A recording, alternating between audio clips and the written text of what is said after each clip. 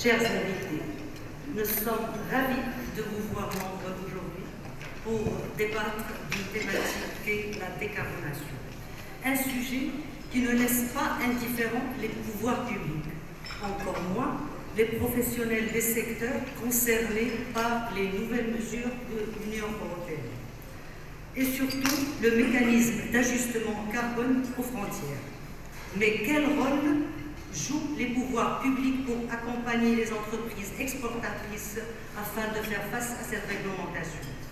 Comment décarboner le secteur industriel? Cette réglementation est-elle une contrainte ou une opportunité pour les entreprises marocaines? Beaucoup de questions ce soir, mais aussi beaucoup de réponses. Et grâce à nos riches intervenants qui sont ici présents, grâce aussi à vous, chers participants, nous allons répondre et nous allons débattre de ce sujet qui nous préoccupe tous. Donc je remercie infiniment M. Ficres qui a bien voulu modérer et animer cette table ronde. Euh, personne euh, n'ignore que M. Ficres fait beaucoup de choses pour le développement durable. Donc euh, il s'est proposé volontiers de, de faire la modération. Je le remercie en votre nom.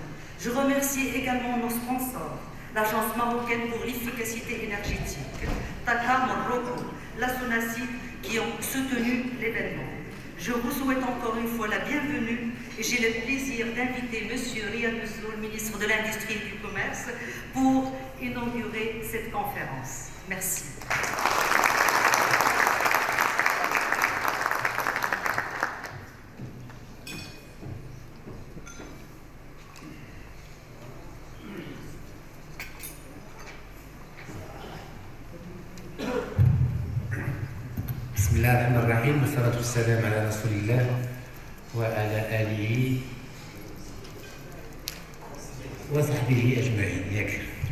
Chers amis, c'est un plaisir de vous voir sur un thème concernant, concernant un thème qui nous tient tous à cœur.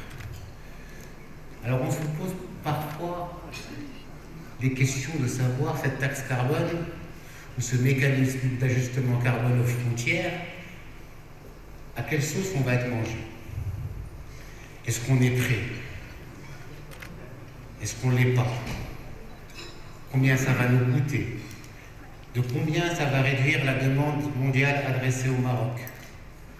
Combien d'emplois ça va nous coûter? La bonne nouvelle, c'est que ça va créer plein d'emplois. C'est que c'est une énorme opportunité pour nous. Alors pourquoi? Vous allez me dire, on nous met des règles en plus, on nous met des barrières en plus, et vous venez nous voir, optimiste comme vous êtes, vous nous dites c'est une super opportunité pour le Maroc. Ben c'est très simple. Ça élimine des concurrents. Et pas des moindres. Ça élimine pas mal de concurrents qui n'ont pas les mêmes atouts que nous. Alors vous allez me dire oui, on a des atouts, mais on est un peu lent pour les transformer. Hein on nous dit depuis des années qu'on a de l'énergie renouvelable pas chère, mais nos industriels ne pas cette énergie renouvelable. Vous nous dites depuis que vous êtes arrivé que vous allez avoir l'énergie renouvelable en moyenne tension à des prix compétitifs, mais ça ne vient pas. Vous nous dites qu'on va gagner des parts de marché, mais ça ne vient pas. Eh bien, on les gagne, ces parts de marché. Et vous voyez, vous allez voir aujourd'hui, et ce n'est pas un hasard, cette liste de sponsors qui est ici, à côté desquels je vais avoir le plaisir de m'asseoir, ce n'est pas un hasard d'abord s'ils sont tous pratiquement prêts. Parce que ce mécanisme d'ajustement carbone aux frontières, malheureusement, ne concerne que six produits.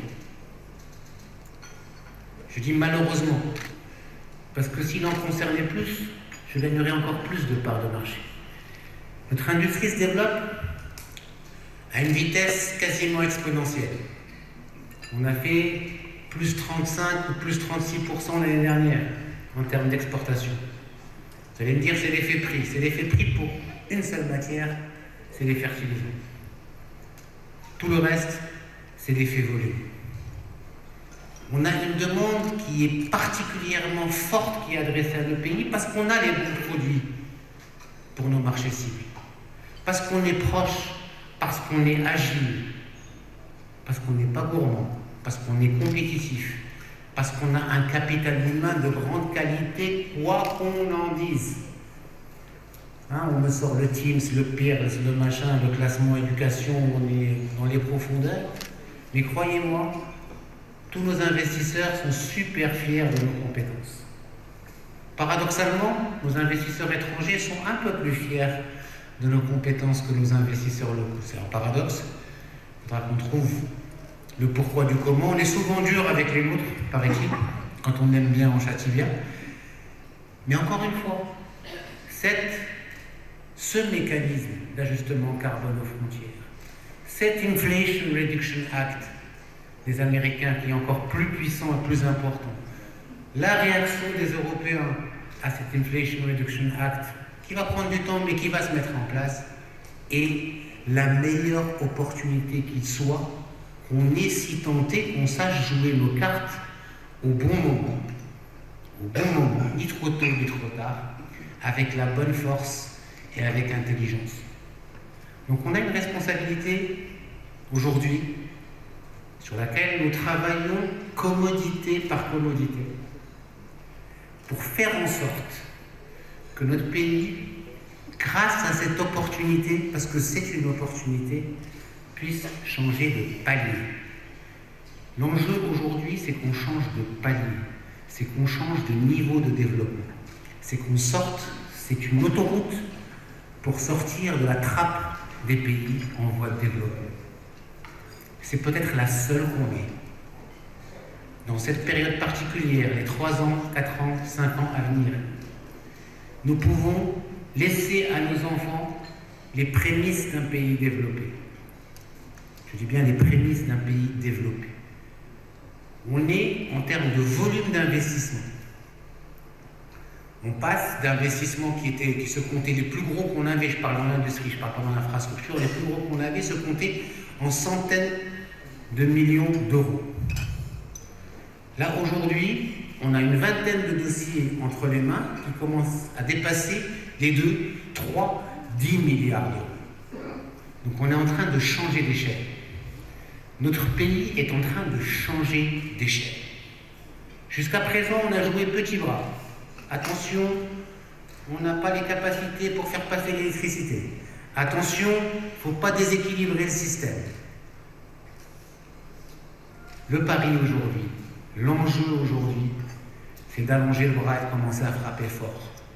Ne pas hésiter, ne pas avoir peur, ne pas avoir peur des sources de financement parce que tout bon projet trouve son financement.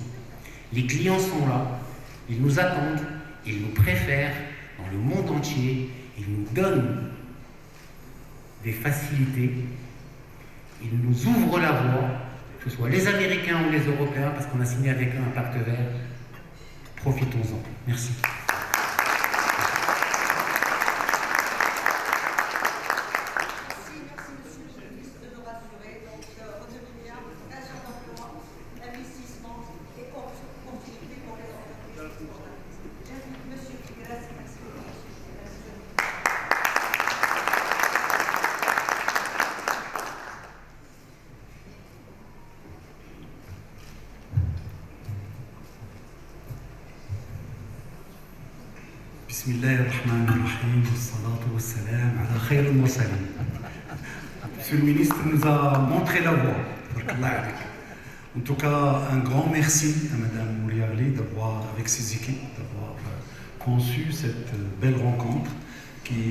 Elle est déjà très agréable. Il va être aussi utile par euh, l'échange sur un sujet qui est extrêmement important et qui n'est pas uniquement un sujet où il y a des contraintes, mais il y a beaucoup d'opportunités. Donc nous commençons déjà à voir vert par rapport à, à cette thématique. Merci pour l'optimisme qu'a toujours euh, démontré, mais avec euh, euh, brio, Monsieur le ministre et ses équipes. Alors, je ne vais pas être très long. Donc, nous avons un programme qui est très riche et qui va être, j'espère, il va vous plaire. Donc, il y a un panel que je vais introduire euh, tout à l'heure. Mais nous avons aussi la chance d'avoir avec nous aussi un grand homme qui est Sehmed Rahou, que j'ai eu la chance de connaître depuis le siècle dernier.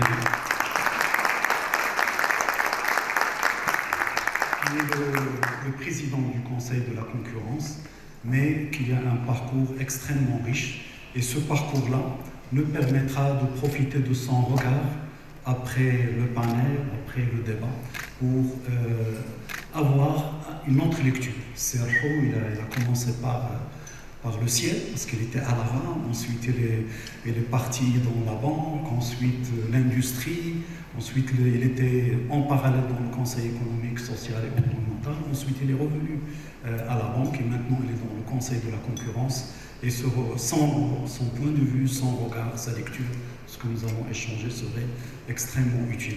Alors, c'est Saïd Mouline. Je t'invite à prendre la parole pour planter le décor.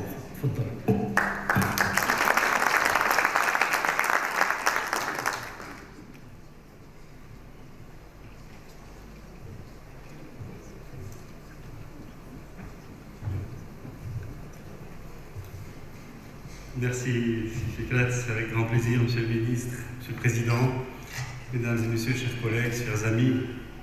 Lorsqu'on parle de décarbonation, lorsqu'on parle d'environnement, lorsqu'on parle de développement durable, c'est toujours un grand plaisir et merci à nous réunir aujourd'hui parce que hein, il y a tout un volet combien important aujourd'hui pour euh, notre pays. Monsieur le ministre l'a bien dit, c'est contrainte ou opportunité, peut-être contrainte et opportunité, parce que oui, il y a des investissements à faire, il y a tous les secteurs qui sont concernés, mais je tiens à dire ici parce que nous avons la chance dans le pays d'avoir une stratégie nationale de développement durable. Nous avons la chance dans notre pays qu'il ait une vision royale pour les énergies renouvelables et l'efficacité énergétique. Et on en récolte les fruits aujourd'hui. Problème de décarbonation. Si on dit que c'est un problème, M. le ministre l'a bien dit, c'est une opportunité pour le pays parce qu'il y a un potentiel exceptionnel lié aux énergies renouvelables, mais il n'y a pas que ça. D'abord, c'est quoi décarboner? Décarboner, c'est réduire tous les intrants pour un industriel, mais même pour un particulier, même pour une ville.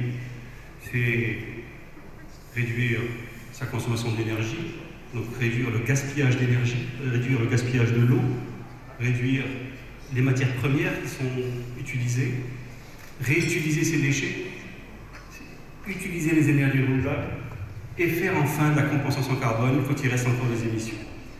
Lorsqu'on fait tout ça, et nous avons des cas d'école dans notre pays, et je tiens à dire ici, bravo d'avoir réuni tout ce beau monde, parce que les acteurs, hein, c'est là travaillent sur la bagasse énergie avec la COSUMAR depuis très longtemps. Euh, je crois que les différents acteurs aujourd'hui utilisent des énergies renouvelables euh, et ce qui s'est passé avec la très haute tension dans notre pays est un exemple. Aujourd'hui, tous les grands consommateurs, les cimentiers, la sidérurgie, euh, les mines, l'ONCF, tous utilisent en priorité d'abord des énergies renouvelables, propres et moins chères. Nous sommes dans un modèle économique. C'est pour ça que c'est une opportunité. Le modèle économique est là parce qu'il y a eu cette vision et on a pu développer des grands projets renouvelables qui ont montré leur intérêt et leur modèle économique. Qui ont profité, c'est vrai, M. le ministre l'a bien dit, c'est le réseau électrique qui en profité un petit peu, mais lorsqu'on a ouvert le marché à la haute tension, ce sont les industriels directement qui en ont profité. Lorsque ça va s'ouvrir pour la moyenne tension, et je crois que il faut encore plus pousser. Nous sommes dans un modèle qui, montre, qui a montré ses, intérêts, mais on a vu aussi ce qui se passe ailleurs dans le monde, parce que ce côté décarbonation, on pense beaucoup aux centralisés et pas assez aux décentralisés qui jouent aussi son rôle. Et c'est pour ça que les lois doivent évoluer pour que le décentralisé joue pleinement son rôle. On l'a vu avec le toit solaire des industriels, ils font le maximum, mais ils voudraient en voir plus pour pouvoir non seulement produire plus, injecter sur le surplus sur le réseau, mais aussi montrer que ce modèle, pour notre pays, qui a eu une facture énergétique l'an dernier de 15 milliards de dollars, au lieu de 8. L'an dernier, on a vu ce qui s'est passé dans le monde, on a vu les prix de l'énergie, et c'est pour ça que c'est une opportunité pas seulement pour les entreprises, c'est une opportunité pour notre pays. Je sais que j'ai quelques minutes encore, mais ce qui se passe peut réellement faire que notre pays passe d'un modèle d'un pays importateur d'énergie grise à un pays exportateur d'énergie verte. Je dis, je répète, je sais que le cluster hydrogène vert a aussi parlé tout à l'heure, mais dans certains secteurs, la sidérurgie, bien sûr, toutes ces filières peuvent évoluer d'une telle façon dans notre pays pour être encore plus compétitifs, non seulement au niveau national, mais au niveau international. Monsieur le ministre a bien dit, il ne faut pas en avoir peur parce que ce que nous faisons, le potentiel que nous avons, d'autres ne l'ont pas. Et en se comparant avec euh, les autres acteurs qui vont arriver sur le marché international, en étant en avance un peu, il faut garder cette avance, nous pourrons être encore plus compétitifs sur le marché international. Mais un autre volet important, et je sais que le secteur financier est parmi nous aussi, c'est que ce qui a été mis en place aujourd'hui, avec toutes les banques marocaines qui ont aujourd'hui des lignes dédiées à cet investissement pour l'économie verte. Si un industriel veut décarboner aujourd'hui, on a dit pourquoi c'est intéressant, mais on a dit parce que ça nécessite des investissements, que le gouvernement, que le secteur privé financier ont mis en place tous les outils. Je vous invite à voir, il y a des guides, il y a un guide de la décarbonation qui a été mis en place avec la CGM, il y a un guide de la finance verte qui est sur le site web de l'AME, qui a été mis en place avec le cluster hydrogène vert, avec le cluster énergie renouvelable. Mais pour vous dire qu'aujourd'hui, tous ces outils sont disponibles, en plus du programme du gouvernement avec Maroc Tatoué Vert, avec Maroc PME, avec la caisse centrale Tamoulcom, l'ex-caisse centrale de garantie. Il y a tous les outils financiers pour accompagner ces investissements qui sont rentables. Le grand, grand changement qui a eu lieu ces dix dernières années, c'est que les renouvelables sont devenus très, très rentables. Il faut en profiter pleinement. Notre pays a tout le potentiel. Et il faut, bien sûr, c'était pour planter le décor, livrette, pour dire que c'est une réelle opportunité. C'est des contraintes parce qu'il y a des investissements à faire, mais les outils sont là. Donc très peu de contraintes, beaucoup d'atouts. Et j'espère, parce que nous sommes dans un modèle aujourd'hui de plus en plus clair, et si depuis plus de 15 ans, hein, nous étions ensemble, Monsieur le ministre, à la CGL, à la commission environnement, pour dire que ce que nous préconisions à l'époque, ce que nous demandions aux entreprises, chaque année, avec tout ce qui s'est passé, non seulement au niveau climatique, mais aussi au niveau économique, au niveau géopolitique, clarifie les choses et rend notre conviction encore plus forte. Voilà ce que je tenais à vous dire et vous remercie.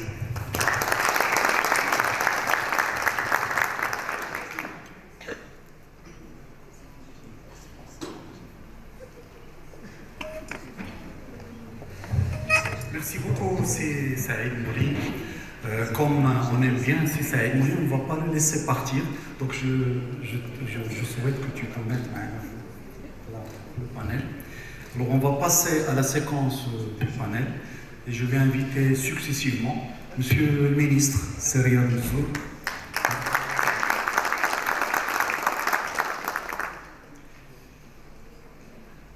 Moulay Hassan Sintissi, tout le temps.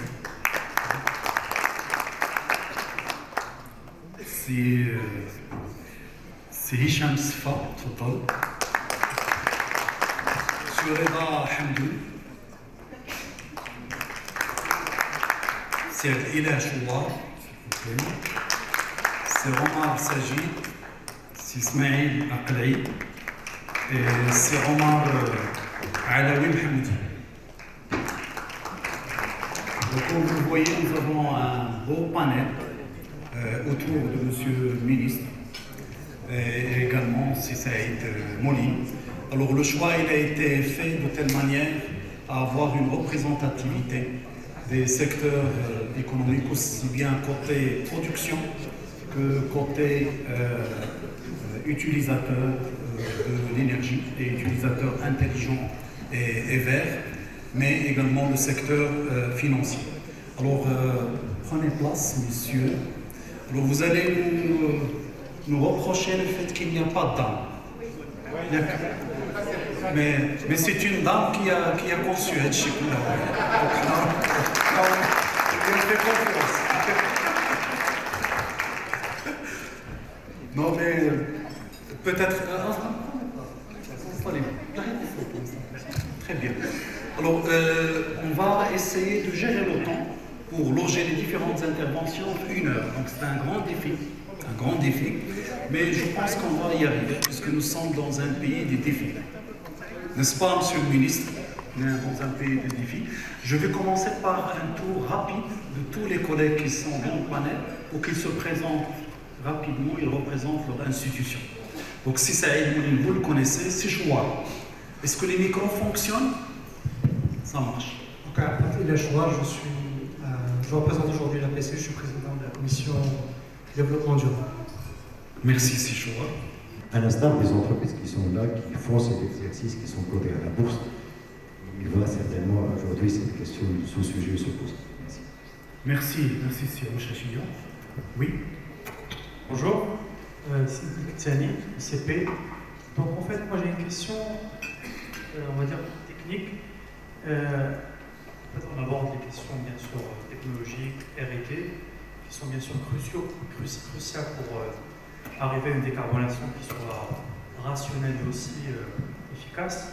Et je pense qu'il y a un volet très important qui commence à émerger au Maroc, c'est la planète finance, donc financement mixte.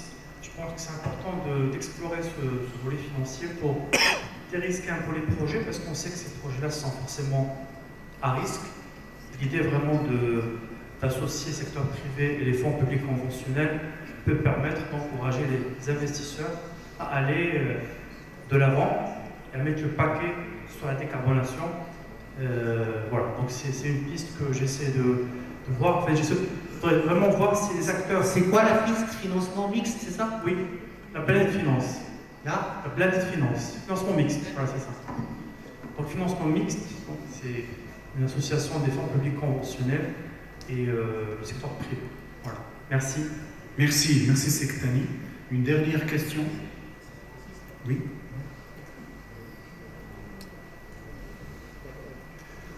une avant-dernière, parce que les dames n'ont pas pris la parole. Donc s'il n'y a pas une volontaire, je vais la désigner. Faut pas. Dans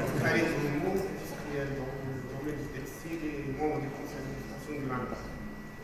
Depuis pas mal de temps, on entend parler de, de l'amont, de mais on ne voit pas ce, ce.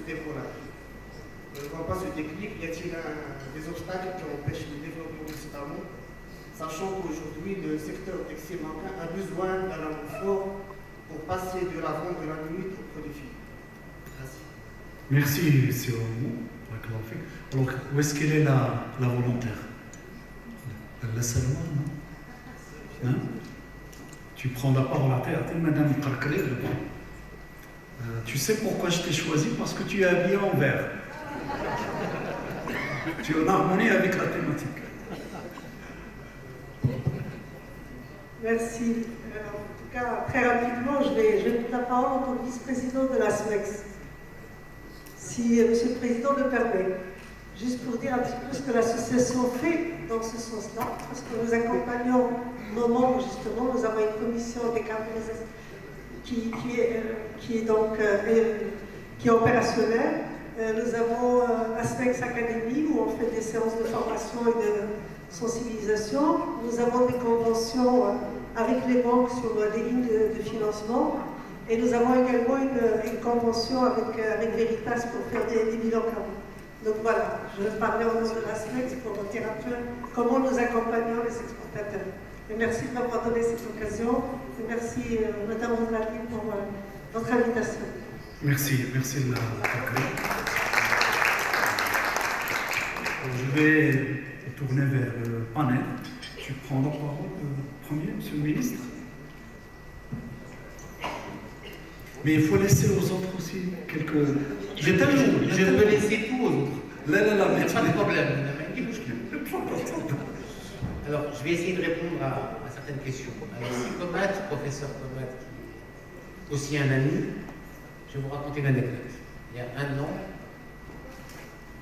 mon ami M. Beraoui, ministre en charge de l'enseignement supérieur, est venu me dire on fait une réunion après le conseil de gouvernement jeudi pour voir quels sont les profils desquels tu as besoin à l'avenir. On s'assoit, on met une équipe en place. Il y a un an, je suis venu au conseil de gouvernement avec un document en disant voilà les profils que je veux.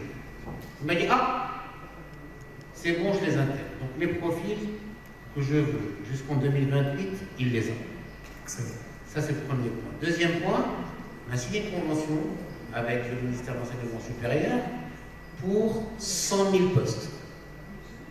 Ça veut dire 100 000 profils où les industriels s'impliquent directement et prennent le contrôle, comme c'est le cas aujourd'hui, c'est permis aujourd'hui, de 10 à 20% du parcours pédagogique de, des, des, étudiants et ils s'engagent à les recruter après. Donc ils viennent les former chez vous et s'engagent à les étudier après, à les récupérer après. Alors on a pour l'instant 3 ou 4 000, mais on est en train d'élargir ça de manière très rapide. Nous, on veut en gamme, on l'a déjà fait pour la formation professionnelle, on sait comment faire, et on arrive, ne vous inquiétez pas.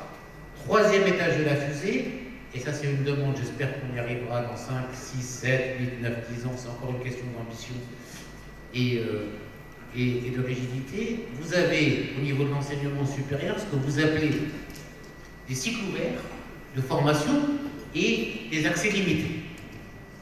Les cycles ouverts sont dans des filières où il n'y a pas de débouchés, et les accès limités sont dans des filières où il y a plein de débouchés.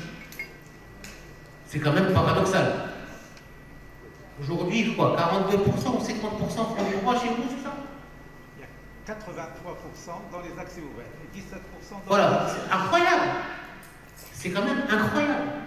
Et là, j'ai besoin de 50 000 ingénieurs par an, on fait 23 000.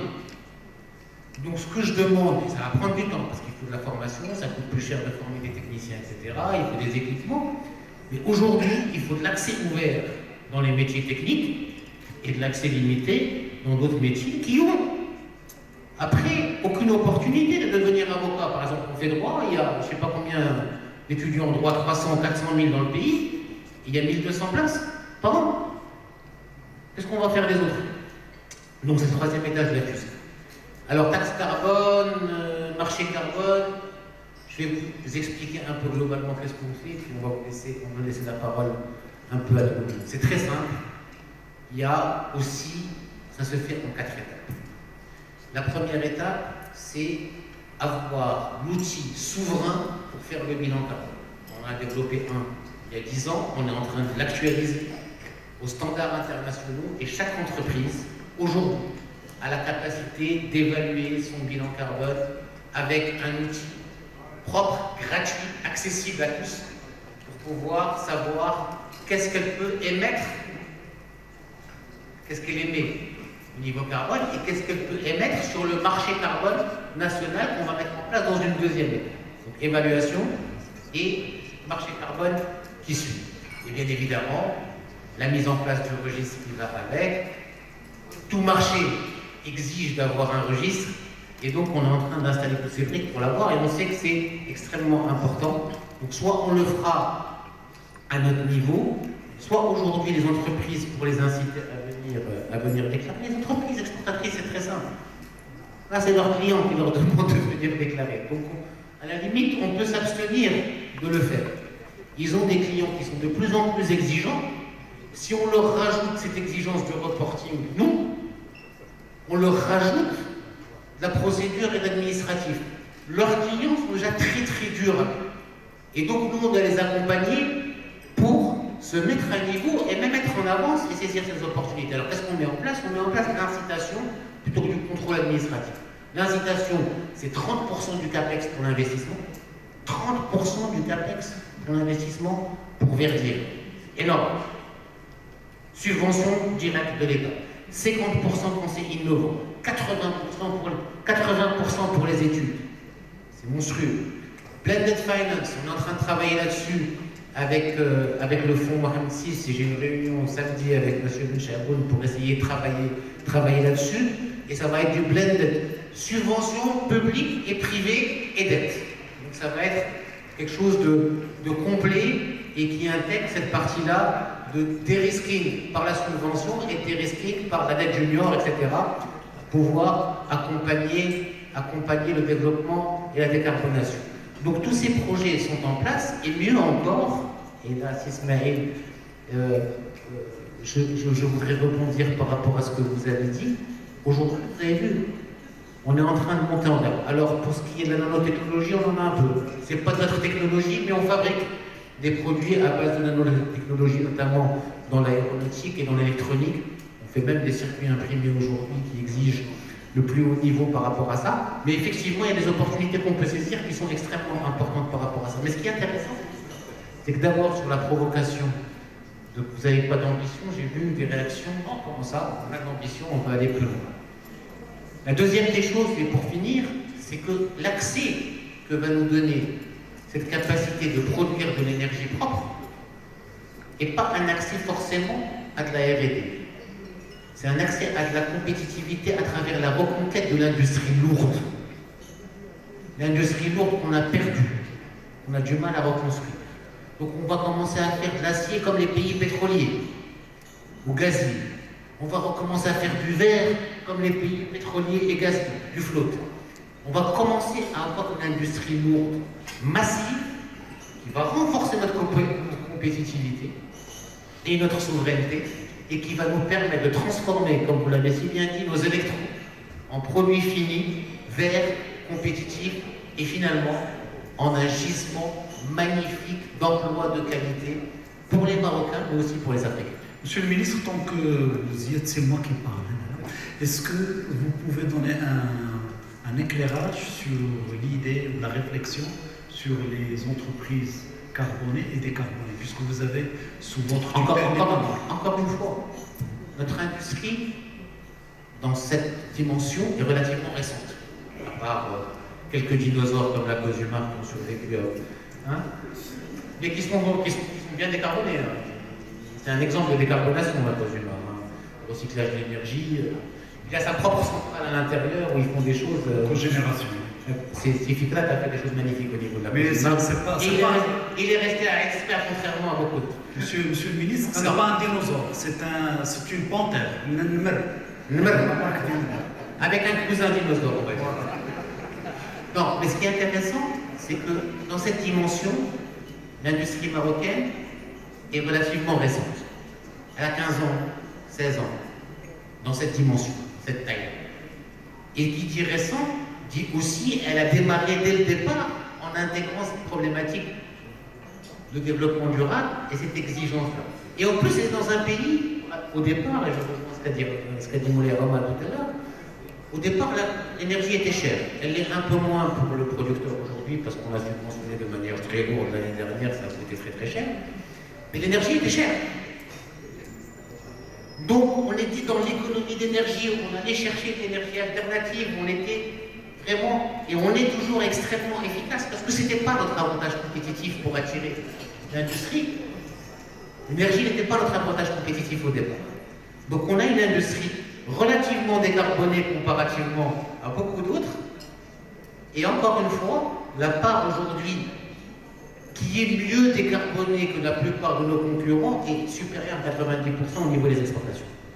Merci, Monsieur le Ministre. Alors, qui souhaite prendre la parole par rapport aux questions? Qu'est-ce qui... Allez-y, il s'agit de je, je vais me permettre de répondre sur la question du textile. D'accord sur la question de, ces parents qui, n'existent pas, je vais rejoindre euh, Monsieur le ministre. Aujourd'hui, s'il n'existe pas, c'est un manque de volonté des, des clairs et nets. C'est vrai qu'il y a 15 ans, 20 ans, euh, les gens se posaient la question bon, il faut aller acheter en Chine ou ailleurs dans les pays asiatiques, et on crée de la valeur ajoutée ici. Aujourd'hui, le business model a changé. Aujourd'hui, euh, cette taxe carbone est, une barrière non tarifaire qui, est aujourd'hui une force de compétitivité majeure pour le Maroc que les industriels marocains doivent les saisir, à, tout prix. Et, toutes les opportunités sont là. Monsieur le ministre a parlé de la charte d'investissement, elle est là, les financements sont là. Maintenant, il manque la volonté. Mais ce que je voudrais rajouter, c'est que euh, il n'y a pas aujourd'hui dans le textile que l'habillement. Aujourd'hui, si on prend euh, par exemple l'exemple du chanvre industriel qui a été légalisé au Maroc, le chanvre pardon, à usage médical, demain, pourquoi pas un chanvre industriel qui pourrait non seulement servir l'industrie textile, l'industrie automobile, l'industrie du papier, et j'en passe. Aujourd'hui, toutes ces opportunités sont là, et je pense que c'est juste... Euh, euh, il y a besoin aujourd'hui, en parlant du textile, euh, de cette cartographie sur laquelle on travaille. Et peut-être que si on, la pousse un peu plus loin, de, converger ces acteurs de l'export avec ces acteurs qui étaient en amont sur le local et que chacun comprenne les besoins de l'autre pour que tout le monde réalise que les opportunités sont là et que les marchés sont là et que c'est qu'à nous de les saisir. Merci, merci, Sajid. C'est Hicham par rapport aux questions. Oui, par rapport aux, questions financement. Par rapport aux questions financement, euh, première des choses, il faut savoir que j'imagine au niveau d'autres banques, il y a du disponible ligne mais qui n'est pas utilisé. Donc là, ça me ramène à l'idée initiale que j'ai avancée, c'est-à-dire que euh, l'audace et l'ambition doivent être là. Et même du côté banquier, il faut euh, aller créer un peu plus d'appétit chez euh, les industriels pour aller euh, vers ce, type de mécanismes qui sont franchement hyper intéressants. Je parlais tout à l'heure de subventions qui peuvent aller à 15%, je parlais de, de taux d'intérêt qui sont hyper intéressants.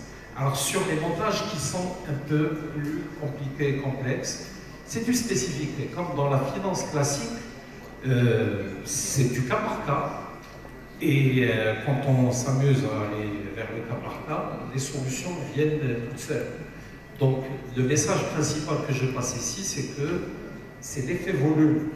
Finalement, quand il y a beaucoup de projets, quand il y a beaucoup d'ambition, c'est ça qui va pousser vers euh, les banques pour aller créer des mécanismes pour aller se financer avec des pour faire des, montages complexe pareil, c'est finalement la réponse d'un marché. Et encore une fois, avec notre rôle d'aller le titiller, d'aller le créer, qui va euh, nous pousser vers des montages financiers plus compliqués que ce qu'on Très bien, merci Céline. Aussi Saïd, Saïd Mouli, Très rapidement sur ces bilans carbone, aujourd'hui des accompagnements parce que la première étape pour n'importe quel industriel, c'est d'abord de savoir où est-ce qu'il gaspille, où est-ce qu'il met trop de carbone.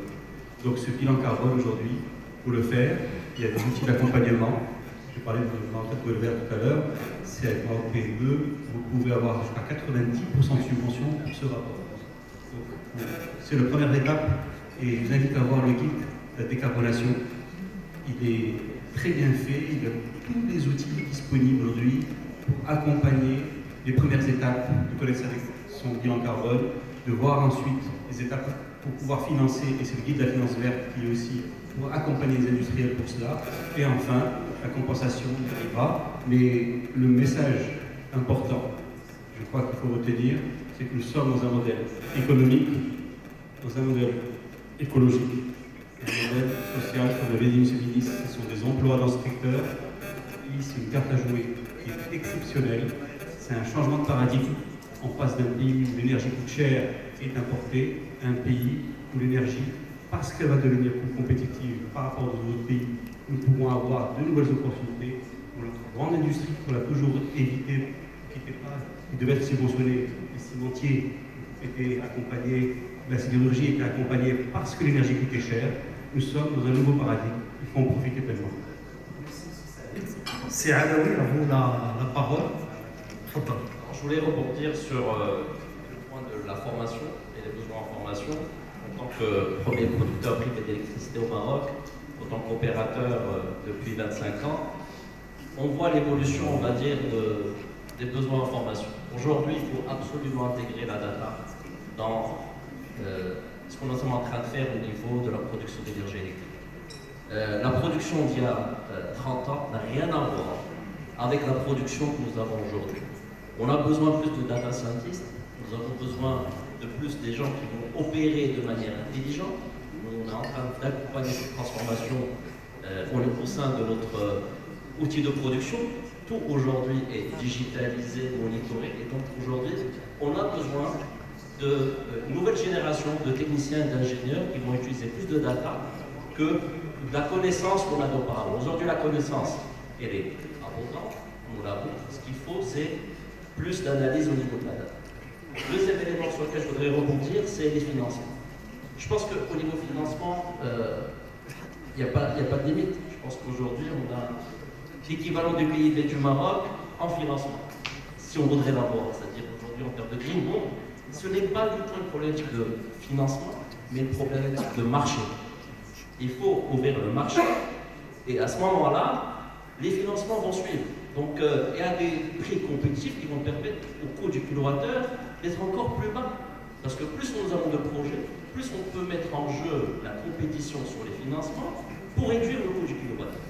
Le coût du kilowattheure, c'est très simple. C'est un CAPEX, un financement et d'exploitation et de maintenance sur la période d'exploitation d'une centrale ou d'une ferme éolienne ou d'une ferme solaire. Donc aujourd'hui, sur ces trois composantes, nous avons la capacité de réduire le CAPEX, réduire le, le, coût du financement et l'exploitation maintenance. L'exploitation, c'est l'expertise. l'expertise à travers le capital humain, on peut avoir un coût du kilowattheure optimisé, fiable, abondant et décarboné. Merci beaucoup, M. Omar Alaoui. Ce que je vous propose, on va faire un exercice comme ce qu'on a fait au début. J'ai 3 à 5 minutes maximum. Chacun de vous donne la, phrase ou la, conclusion finale. Quelle est votre conclusion de cette discussion? Je crois que notre euh, avenir vert n'est plus une chimère. Euh, commence cet avenir vert euh, aujourd'hui. Nous avons aujourd'hui toutes les capacités pour non seulement créer plus d'emplois pour nos enfants, mais aussi pour montrer qu'en réalité, ce qui se joue aujourd'hui, ce n'est pas simplement un avenir euh, transition énergétique, une transition infinie, euh, qui n'a ni, ni, début ni fin, mais plutôt un avenir qui repose sur l'affirmation industrielle de notre continent et de notre pays, euh, qui a finalement un cocktail assez unique de minerais, parce que l'Afrique et notre pays en regorge, et aussi de gisements renouvelables. Cette combinaison assez unique, ce sera le socle d'un avenir industriel vert qui créera des emplois pour les générations à venir dans notre pays. Nous. Merci, Serdoun. S'il s'agit un demi-mot. J'ai trois minutes, comme seulement. Là, là, là, pour l'ensemble. Hein. Ah, il faut gérer la, le budget global. Hein. Aujourd'hui, euh, c'est la position géographique euh, du pays. Aujourd'hui, euh, je crois que le message a été clair de Sa Majesté le roi de la lors de la journée de l'industrie, c'est la souveraineté nationale, et donc c'est l'intégration et la création de valeur ajoutée locale, et bien sûr l'emploi, l'emploi. Merci, merci. Moulay Hassan, c'est ici. En fait, jusqu'à présent, tout le monde a parlé d'expérience. Mais en tout en se sur tout ce qui est bien. Le réveil, ah, ah, c'est Moulay Hassan, micro. Sinon, l'export ne sera pas bien entendu. L'export, oui. Tout le monde a parlé d'énergie renouvelable et surtout l'export. Donc, on va marier les deux, et je ne vois pas se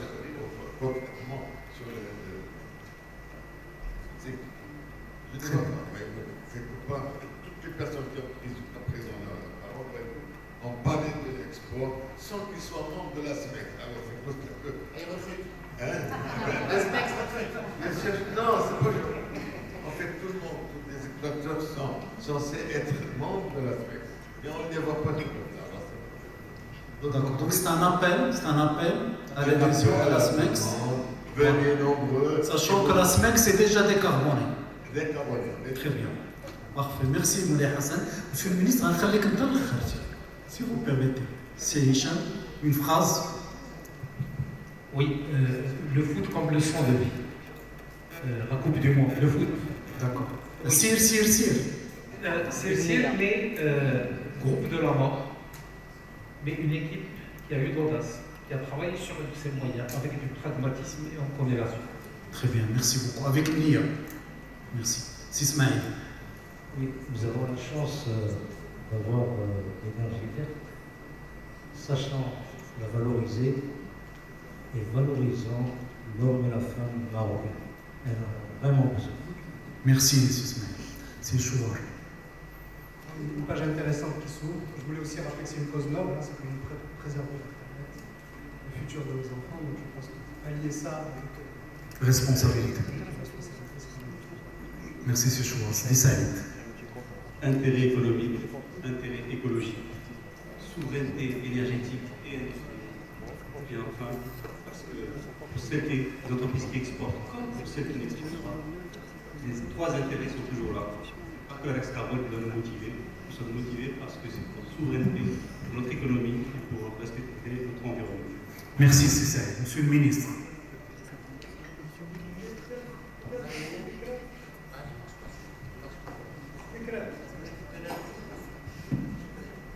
Peut-être avant que Monsieur le ministre prenne la parole, une petite question. Filer le le bien, là, ça va trois minutes. Attends, cette question au lieu de ça, où Bien sûr, là, je ne peux pas. C'est. Donnez le micro, monsieur. Merci. C'est pour monsieur le ministère en question des. On veut mais les industriels veulent justement aller plus vite. Euh, euh, nous avons besoin de deux petites mesures.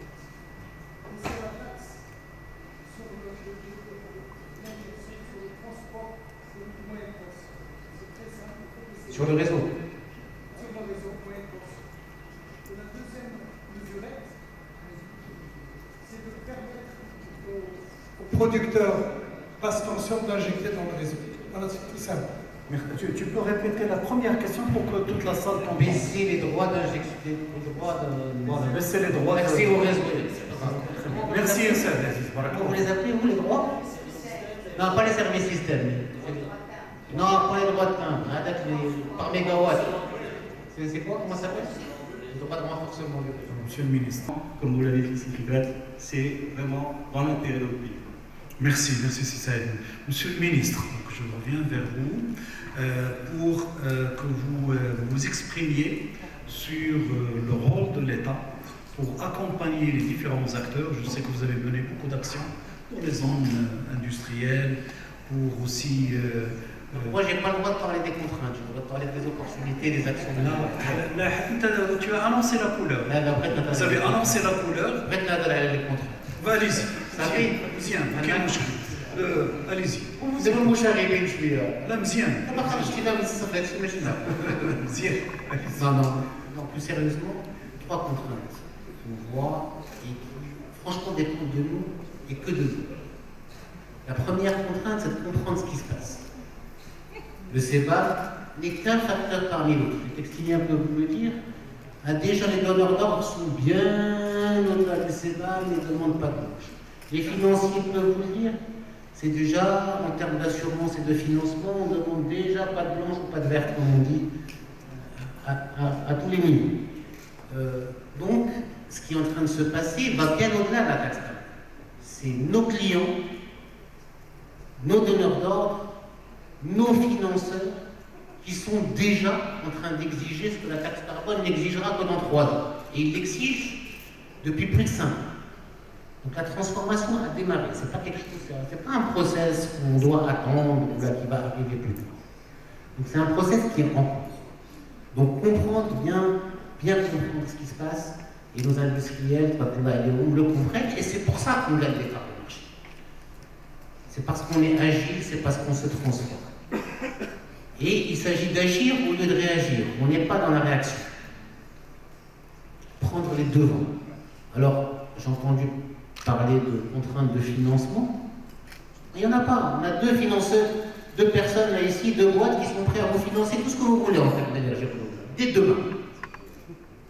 Ils peuvent mobiliser ce que vous voulez. Et il y en a deux parmi d'autres, parmi plein. Ils sont pris, ils sont sur les starting blocks. Ils nous attendent, nous, les pouvoirs publics, pour pouvoir un petit peu libérer les contraintes qu'on leur met. Mais l'argent est disponible. Mais ce n'est pas les pouvoirs publics qui sont une contrainte. Les pouvoirs publics sont une contrainte. Pourquoi? Pourquoi Parce qu'on a peur. Parce qu'on a peur de déséquilibrer des péréquations qu'on a mises en place dans le passé. On a mis des péréquations en place pour pouvoir accompagner le développement du pays, qui sont des péréquations aujourd'hui qui freinent une partie du développement. Il faut trouver des solutions. Et on est en train de les trouver. On est en train d'arriver avec de nouvelles propositions et de nouvelles offres pour sortir de cette péréquation et changer d'échelle. Parce que cette péréquation nous a permis d'atteindre un niveau intéressant.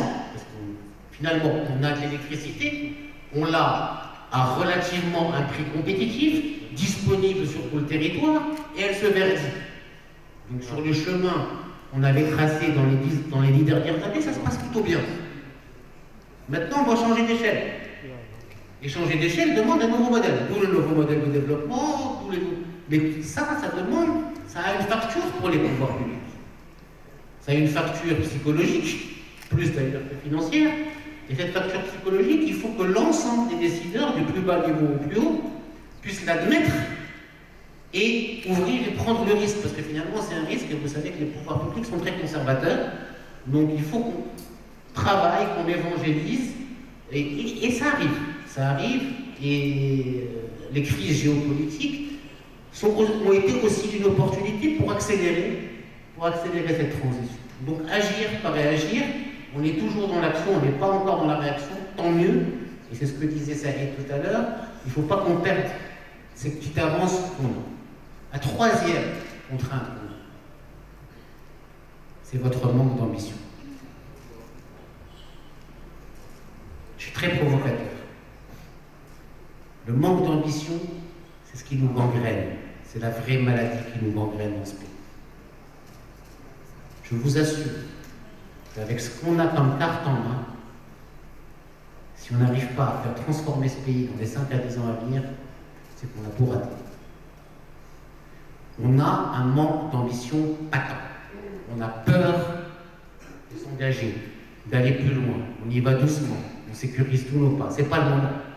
Cette période n'est pas une période conservatrice. C'est une période où il faut prendre tous les risques. C'est une chance. Il y a un TGV qui passe, c'est le nôtre. C'est le nôtre, c'est notre opportunité de développement. Et pouvoir public, investisseurs privés, même personnes physiques, voyez grand. C'est la vraie contrainte, dans la tête. Merci, Monsieur le ministre. Nous avons la chance d'être euh, proactifs, mais à l'échelle plus haute de notre pays, puisque comme vous le savez, depuis plusieurs années, il y a eu le lancement de la production de l'énergie solaire et qui nous aide aujourd'hui, qui nous met dans une disposition meilleure. Et nous avons besoin aussi de taqa, n'est-ce pas, c'est Omar Hamdi? Donc je vous donne la parole en premier pour ouvrir le bal sur la partie opportunité. Alors, si on aborde les opportunités, euh, d'abord le Maroc a des atouts euh, climatiques majeurs pour produire l'énergie renouvelable à bas coût. 3600 km de côte, euh, du vent euh, à plus de 6 mètres par seconde sur les côtes, du, vent de qualité offshore en onshore, donc ça c'est un coût très compétitif. D'autre part, l'irradiation solaire que nous avons de 2300 kWh par mètre carré par an est une des plus hautes au niveau mondial. Et en plus, on a les deux. Donc, coupler la courbe de production solaire avec de l'éolien, c'est quasiment avoir une charge de base renouvelable. Dans certaines régions du royaume, on peut avoir du 80% de taux de disponibilité en renouvelable. C'est juste, on va dire, on a l'Eldorado aujourd'hui. Et cet Eldorado n'est pas monétisé. On n'arrive pas à monétiser quelque part notre pétrole, qui est du vent et du soleil, on n'arrive pas à le traduire sur notre balance des paiements, sur notre PIB, à cause de certains freins euh, qu'il faut dépasser. Les freins sont là. Euh, il y a une capacité d'accueil d'un réseau qu'il faut moderniser, mettre un réseau intelligent qui va intégrer les smart grids, qui va permettre de gérer l'intermittence en continu, introduire le gaz dans le mix. Parce que sans gaz, on ne peut pas gérer l'intermittence. Or, la quantité de gaz aujourd'hui, en termes de production d'énergie électrique, est en deçà des capacités du pays. Nous avons aujourd'hui 800 mégawatts cycle combiné gaz et euh, peut-être 600 mégawatts qui fonctionnent aujourd'hui au fioul lourd, alors qu'ils devraient fonctionner au gaz, avec un coût, euh, on va dire, très cher pour le Maroc. Donc introduire le gaz à travers, aujourd'hui peut-être le reverse flow, mais demain avec une capacité de gasification locale, que ce soit en onshore ou en floating, est nécessaire pour transformer contrainte en opportunité. Parce que avoir un mix énergétique basé sur du gaz et de l'éolien, d'abord, c'est une intensité euh, carbone plus faible au kilowattheure et aussi un coût plus faible. Cette, on va dire, euh, atout, couplé à un atout géographique, on est proche de l'Europe, on devrait être exportateur d'énergie verte. On devrait avoir des câbles du Maroc, HVDC, euh, liés à l'Europe, pour exporter de l'énergie, et non pas pour en importer. Alors aujourd'hui, on est en train d'apporter 10 à 15% de nos besoins, on est revenu à une situation d'il y a 7-8 ans. Donc il y a un rattrapage à faire au niveau de la capacité d'accueil du réseau, au niveau de, du plan d'équipement national, pour pouvoir avoir un mix énergétique diversifié, inclusif. Euh, quand on dit inclusif, ça ne va pas arrêter ou changer du jour au lendemain nos centrales euh, charbon, fuel pour passer à du renouvelable. Il faut un temps, il faut préparer le terrain. Mais si on a la vision des financements, les hommes, les process pour le faire, on va y arriver. Pardon Les hommes à grand âge. Donc, euh, euh, je pense qu'aujourd'hui, on, est sur un point d'inflexion euh, au niveau de notre mix énergétique. Et donc, il y a possibilité de transformer la chance que nous avons aujourd'hui à travers d'abord l'avantage aussi du renouvelable.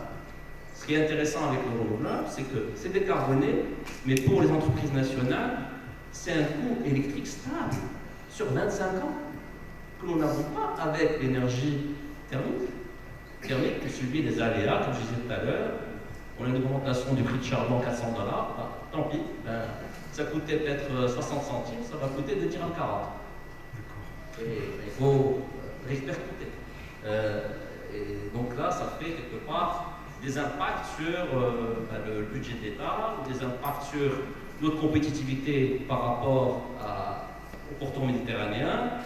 Mais si on arrive à faire plus de renouvelables, avec les 52% prévus en 2030, qu'on peut normalement dépasser, parce que si on arrive à avoir plus de capacité d'accueil dans le réseau, on peut aller jusqu'à 60-65% de renouvelables, vu la capacité du pays.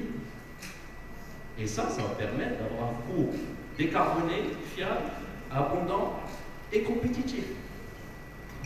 Et ça va changer complètement la donne. Vous savez, le, coût électrique a un déterminant majeur dans le choix du pays où on veut investir. Chaque investisseur commence par d'abord, bien sûr, connaître le pays, connaître sa situation économique, mais le coût d'électricité est un, facteur déterminant. Donc si on arrive à avoir un, coût électrique plus faible, abondant, décarboné, et nous avons, comme disait le ministre, les investisseurs sont là. Tout le monde veut investir. Il y a des millions de dollars qui attendent de être investi dans ce secteur. Alors j'ai entendu Kouila Saïd Mouli me souffler, on a besoin d'hommes avec grand F, et je suppose F, c'est fonceur. Tout à fait. À ne pas confondre avec les grèves ou la Tout à fait. Fonceuse. un, autre élément, c'est le, le, levier, on va dire, réglementaire. On a aujourd'hui un code réseau, nous avons euh, une loi sur l'autoproduction, on a, nous avons changé la loi 1309 avec la loi 49, mais malgré tout, on ne voit pas tous ces éléments se transfor- transformer complètement le paysage de production. Alors que nous avons besoin de 700 à 1000 mégawatts de renouvelables installés par an atteindre les 52%. Très bien. Merci beaucoup, c'est De toute façon, ce qu'on retient de ce que vous dites, c'est qu'il y a un gisement immense, beaucoup de potentialités, et nous avons besoin d'un autre gisement qui s'appelle courage et qui s'appelle initiative. Merci beaucoup. C'est Hamdoul, à vous la, parole. Vous êtes euh, à la fois la CGM, également en Arepa, qui est un grand acteur, qui est produit, qui continue à développer dans l'énergie verte. Si vous pouvez nous parler des opportunités euh, dans la, continuité de ce que nous venons d'écouter, hein, Nancy Omar. Merci, à nouveau Colette. Pour remettre l'église au milieu du. Le Maroc, notre pays, a un produit tout à fait unique. Le monde nous envie nos électrons verts et compétitifs. Le plus important, qu'ils soient compétitifs. Les opérateurs installés au Maroc aujourd'hui sont en capacité d'obtenir les LCOI, notre jargon énergéticien le coût de, de l'électricité en dans le, le CAPEX, les plus faibles du monde. On peut aller jusqu'à moins de 30 dollars, voire bien moins, euh, de mégawattheure. Pourquoi? Parce que nous avons au Maroc les meilleurs vents du monde, notamment dans le sud du Maroc, les meilleurs vents du monde avec le Chili, puisque avons des vitesses de vent qui peuvent atteindre 10 ou 11 mètres par seconde, donc qui nous permettent de réduire l'intermittence de nos systèmes d'énergie renouvelable, ce qu'on appelle des load factors élevés. Donc, au Maroc, on peut atteindre, dans la région de Dakhla, des load factors hein, qui atteignent 70%. Moyenne européenne, continentale, 25%. Le pic de load factor de l'éolien en Europe, qui est pourtant un continent venteux, c'est 55% en mer du Nord. Et donc la moyenne marocaine sud, dans cette province aérienne, est supérieure au pic de l'éolien euh, en Europe. Ce qui en retour nous permet d'avoir l'électricité pas chère. Alors toute la question, toute, l'équation pour notre pays, c'est que faire de ces électrons et comment les exploiter? D'abord, il faut les utiliser. Je, fais un petit essai, une petite parenthèse très très rapide. Il a été dit que notre facture énergétique est absolument gigantesque. Elle a d'ailleurs doublé après la Covid atteindre des proportions absolument considérables. Et le gros de cette facture énergétique, il vient d'où? Il vient du transport. On parle beaucoup de capacité et de réduction et de décarbonation de nos systèmes énergétiques, notre capacité à produire l'électricité, mais cela ne représente que 20% de notre bilan énergétique. Ce qui représente le gros de notre bilan énergétique, c'est le transport. Et on en parle très peu. Si vous décarbonisez ou électrifiez ne serait-ce que 50% de nos transports, ça revient, c'est l'équivalent de renouvelable pour 100% de nos centrales dans notre pays et on ne parle pas de mobilité durable dans notre pays alors que nous avons cette commodité, ce produit absolument qui est sans OPEX, où les intrants sont gratuits, qui est l'électricité. Le fuel du futur pour le transport, c'est l'électricité. Il n'y a pas de pays mieux placé que le Maroc pour aller vers la mobilité électrique, vers la mobilité durable, au moins que vous préférerions rester accro à une énergie qui n'est pas très propre, l'essence, qui n'est pas souveraine et dont les prix sont extrêmement volatiles. Donc la première, si on est sérieux à propos de la transition énergétique de notre pays, il faut être sérieux à propos, à propos de la mobilité durable et électrique. Et je pense qu'il est grand temps dans notre pays qu'on avance euh, sur cette voie pour rétablir notre souveraineté énergétique euh, grâce à une électricité qui nous appartient et qui est extrêmement compétitive. Alors, ce qui se joue au Maroc, plus que la transition énergétique, en réalité, c'est l'avenir industriel du pays.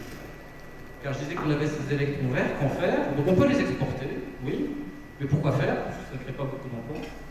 Mais ce qu'on peut faire aussi, puisque j'ai entendu le mot ambition de la part de monsieur le ministre, on a le droit d'être plus ambitieux. C'est de dire nos électrons verts, nos molécules vertes, on les capte. Et vous, industriels de tous bords, les pays, si vous voulez profiter de ces électrons, il faut venir délocaliser, même si le mot n'est pas très à il faut venir installer vos chaînes manufacturières dans notre pays pour pouvoir partager la valeur avec nous et surtout, surtout, créer des emplois. L'an dernier, le Parlement, c'est 300 milliards, 300 milliards de dollars qui ont été drainés par les investissements verts dans l'industrie verte. L'Afrique n'en a retenu que 2%. 2%. Donc, ce qui se joue pour notre pays, c'est d'augmenter notre capacité à attirer ces investissements grâce à notre énergie renouvelable. Et donc l'avenir industriel du Maroc, c'est un avenir industriel vert. Nous collaborons aux capacités d'énergie renouvelable et capacités manufacturières créatrices d'emploi. Alors déjà, ceci est à l'œuvre aujourd'hui, ce n'est pas théorique. Monsieur le ministre porte lui-même des, projets de gigafactory batteries. Les batteries, c'est l'électricité, donc ça tombe sous le CEBAM. Et donc déjà, les investisseurs souhaitent s'installer au Maroc pour pouvoir installer ce type de, de gigafactory. Mais nous avons une autre richesse au Maroc, c'est l'hydrogène. C'est l'hydrogène vert. L'hydrogène vert, on est en capacité au Maroc de produire à des prix extrêmement compétitifs, bien en-delà de 2 dollars le kilo. Et là, il y a des cimentiers, il y a des sidérurgistes, et eux savent combien il est difficile de décarboner ces industries. Mais ils devront décarboner ces industries.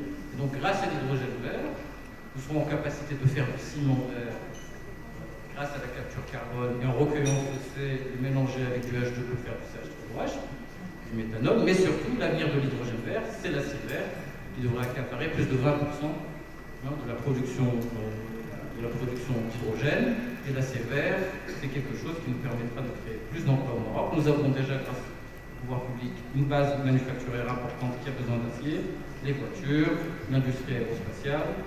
Et donc en connectant nos vallées de l'hydrogène avec ces bassins industriels, nous continuerons à créer des emplois professionnels, etc. Merci beaucoup, Hamdoun. Donc je vais inviter Sir Omar Saji à nous montrer et à jeter la lumière sur des idées qui vont au-delà des frontières de notre pays, tout en restant au sein de l'Afrique. On va parler dans la discussion sur l'idée de, faire euh, connecter le secteur textilien marocain avec un amont euh, africain et profiter aussi du grand projet qui est en cours de construction et de conception Merci. Merci. Alors, euh, je voudrais juste rappeler un petit point que l'Union européenne et les États-Unis en particulier ont le secteur du textile dans, le viseur, euh, bien comme il faut, parce que ce, secteur est le troisième, sinon le deuxième secteur le plus pollueur au monde. Donc, euh, à titre d'exemple, je qu'un petit exemple, euh, un jean, il consomme entre 50 à 100 litres d'eau pour être fabriqué. Même s'il est déchiré. Même s'il est déchiré. Et il consomme plus quand on le déchire. Il faut, une, il faut d'autres produits chimiques. Donc c'est pas quelque chose dont l'industrie est particulièrement fière et nous sommes vraiment dans le viseur. Donc c'est pour cela que oui, on parle tous ici d'énergie verte, ce qui est exceptionnel pour le Maroc, mais ça va, dans l'industrie, ça va au-delà de l'énergie verte. Il y a beaucoup d'autres mécanismes qui vont être taxés au-delà euh, de l'énergie propre qu'on utilise dans l'usine. À titre d'exemple, aujourd'hui, sur les lois qui sont déjà mises en place euh, dans l'Union européenne, notamment la loi AGEC, qui résume un petit peu euh, tout ce que je dire, c'est la loi anti-gaspillage pour une économie circulaire. Donc on taxe le gaspillage et, on, euh, donne des points pour l'économie circulaire. Donc sachez qu'aujourd'hui, si vous voulez, si vous fabriquez au Maroc, on va commencer à vous taxer si vous ramenez de la laine de la Nouvelle-Zélande, si elle vient de la Nouvelle-Zélande, si elle est tissée en Chine et si elle est euh, teinte quelque part d'autre et confectionnée au Maroc. Donc tout le bilan en termes de distance va être, va être taxé. Donc c'est là d'où vient l'opportunité principale du Maroc, c'est que nous sommes à 14 km de l'Europe. Plus on fabrique des choses chez nous, plus on est compétitif sur toute la chaîne de valeur. Et donc, euh, pour rejoindre ça, avant de répondre à, votre question scientifique, parce que euh, la vision d'en face, c'est de, de relier l'Afrique au Maroc à travers, bien sûr, le coton africain, parce que nous avons les, plus gros producteurs de coton au monde qui sont à, nos portes. Euh, nous avons pensé, nous avons déjà mis en place certains mécanismes pour pérenniser les emplois au Maroc. Le premier était la signature d'une convention avec euh, le Portugal, aujourd'hui, la Chambre de commerce Portugal, pour créer ce lien entre les producteurs euh, portugais, qui sont à deux pas de chez nous, en profitant de leur amont et le, en le complétant par le travail. D'une chose, donc on, referme le cercle et, et on encourage les gens à s'approvisionner à proximité au lieu d'aller en Chine ou dans d'autres pays, premièrement. Deuxièmement, euh, un partenariat aussi en cours de signature avec cette même chambre entre le centre textile, centre technique de textile habillement marocain et l'équivalent portugais pour dresser le bilan carbone des entreprises marocaines, pour que les entreprises sachent ce qu'elles doivent faire et quelles, sont leurs opportunités, tout en sachant, comme a, mentionné M. le ministre, si nous avons eu cette belle croissance euh, ces deux dernières années, c'est parce que la majorité des entreprises exportatrices sont déjà soumises à ces, euh, à ces contraintes et ont déjà leur certificat. Ils sont conformes, sinon les donneurs d'ordre ne nous auraient pas suivis.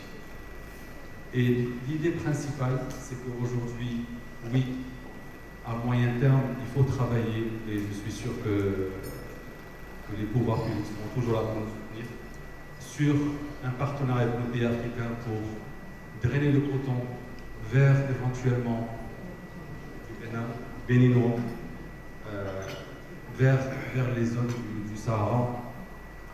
Un endroit idéal serait Dakhla avec le, nouveau port Dakhla Atlantique qui est, qui est en construction pour commencer à créer cet amont qui est énergivore et dont les ressources en énergie sont disponibles là-bas et commencer à remonter la chaîne de valeur pour arriver jusqu'à Tanger où vraiment le pôle industriel de la confection est là-bas.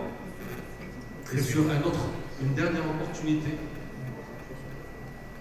une dernière opportunité, c'est qu'aujourd'hui, euh, j'ai aussi le plaisir de vous annoncer que le, 11 mai, il y aura une signature avec euh, Londi dans le cadre du salon Maroc Mode qui se tient à Casablanca du 10 au 12 mai, où euh, l'Académie de mode de Casablanca, qui est un partenariat public-privé, ministre de tutelle, et la MIT.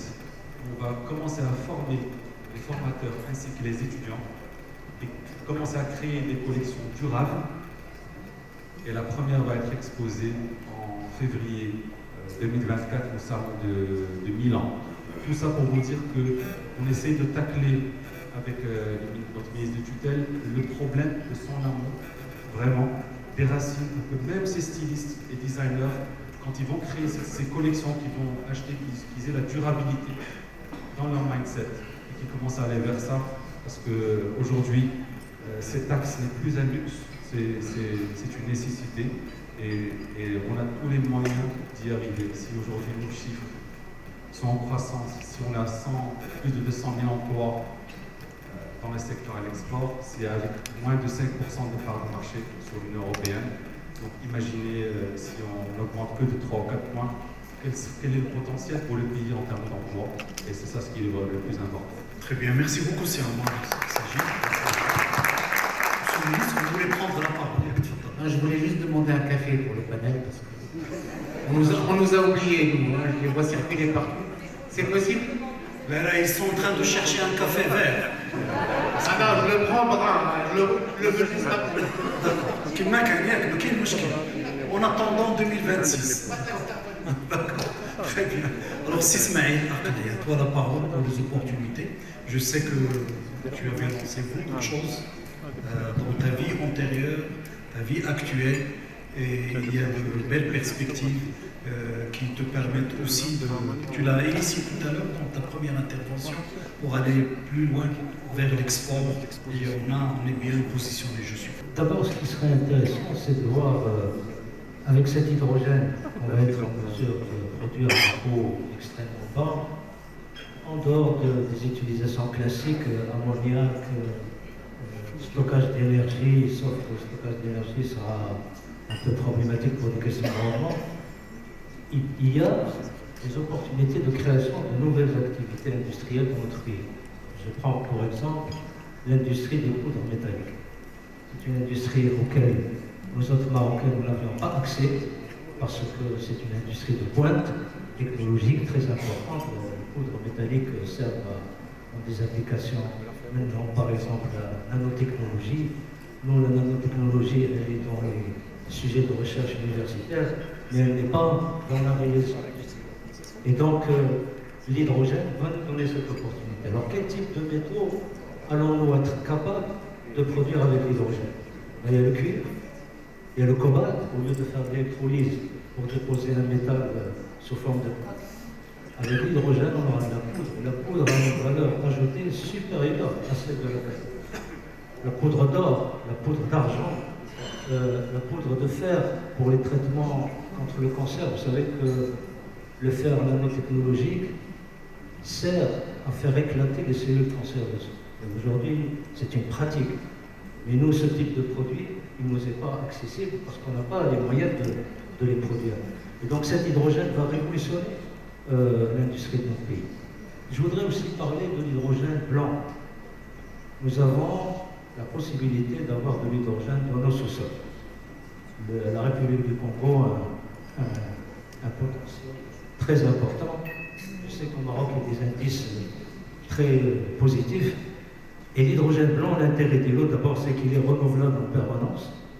C'est une électrolyse naturelle qui se produit à 1500 mètres de profondeur avec le minerai de fer et de l'eau. Et il est renouvelable à volonté. Et l'intérêt, c'est qu'il ne consommera pas de l'eau, il ne demandera pas de dessalement de l'eau. Et c'est une activité qui mérite qu'on s'en occupe et qu'on investisse dans euh, l'exploration de ce produit. Et enfin, nous sommes premiers producteurs de phosphate au monde, mais nous n'avons pas développé la chimie du phosphate. On a les engrais, on a le phosphate, euh, j'en profite pour prendre du café, on a du, phosphate vendu brut, on a des engrais, on a de l'acide phosphorique. Mais le phosphore, le P4, est extrêmement important et on peut le produire avec l'hydrogène.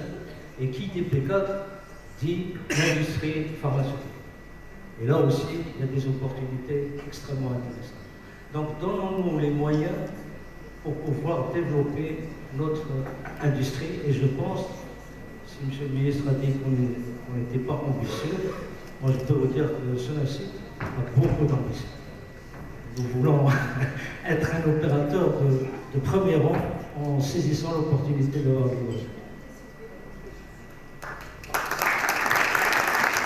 Merci beaucoup aussi Ismaël Aklaï. Vous avez raison de l'applaudir parce que si Ismaël Aklaï, pour ceux qui ne le savent pas, est un grand acteur dans la R&D, dans sa vie antérieure.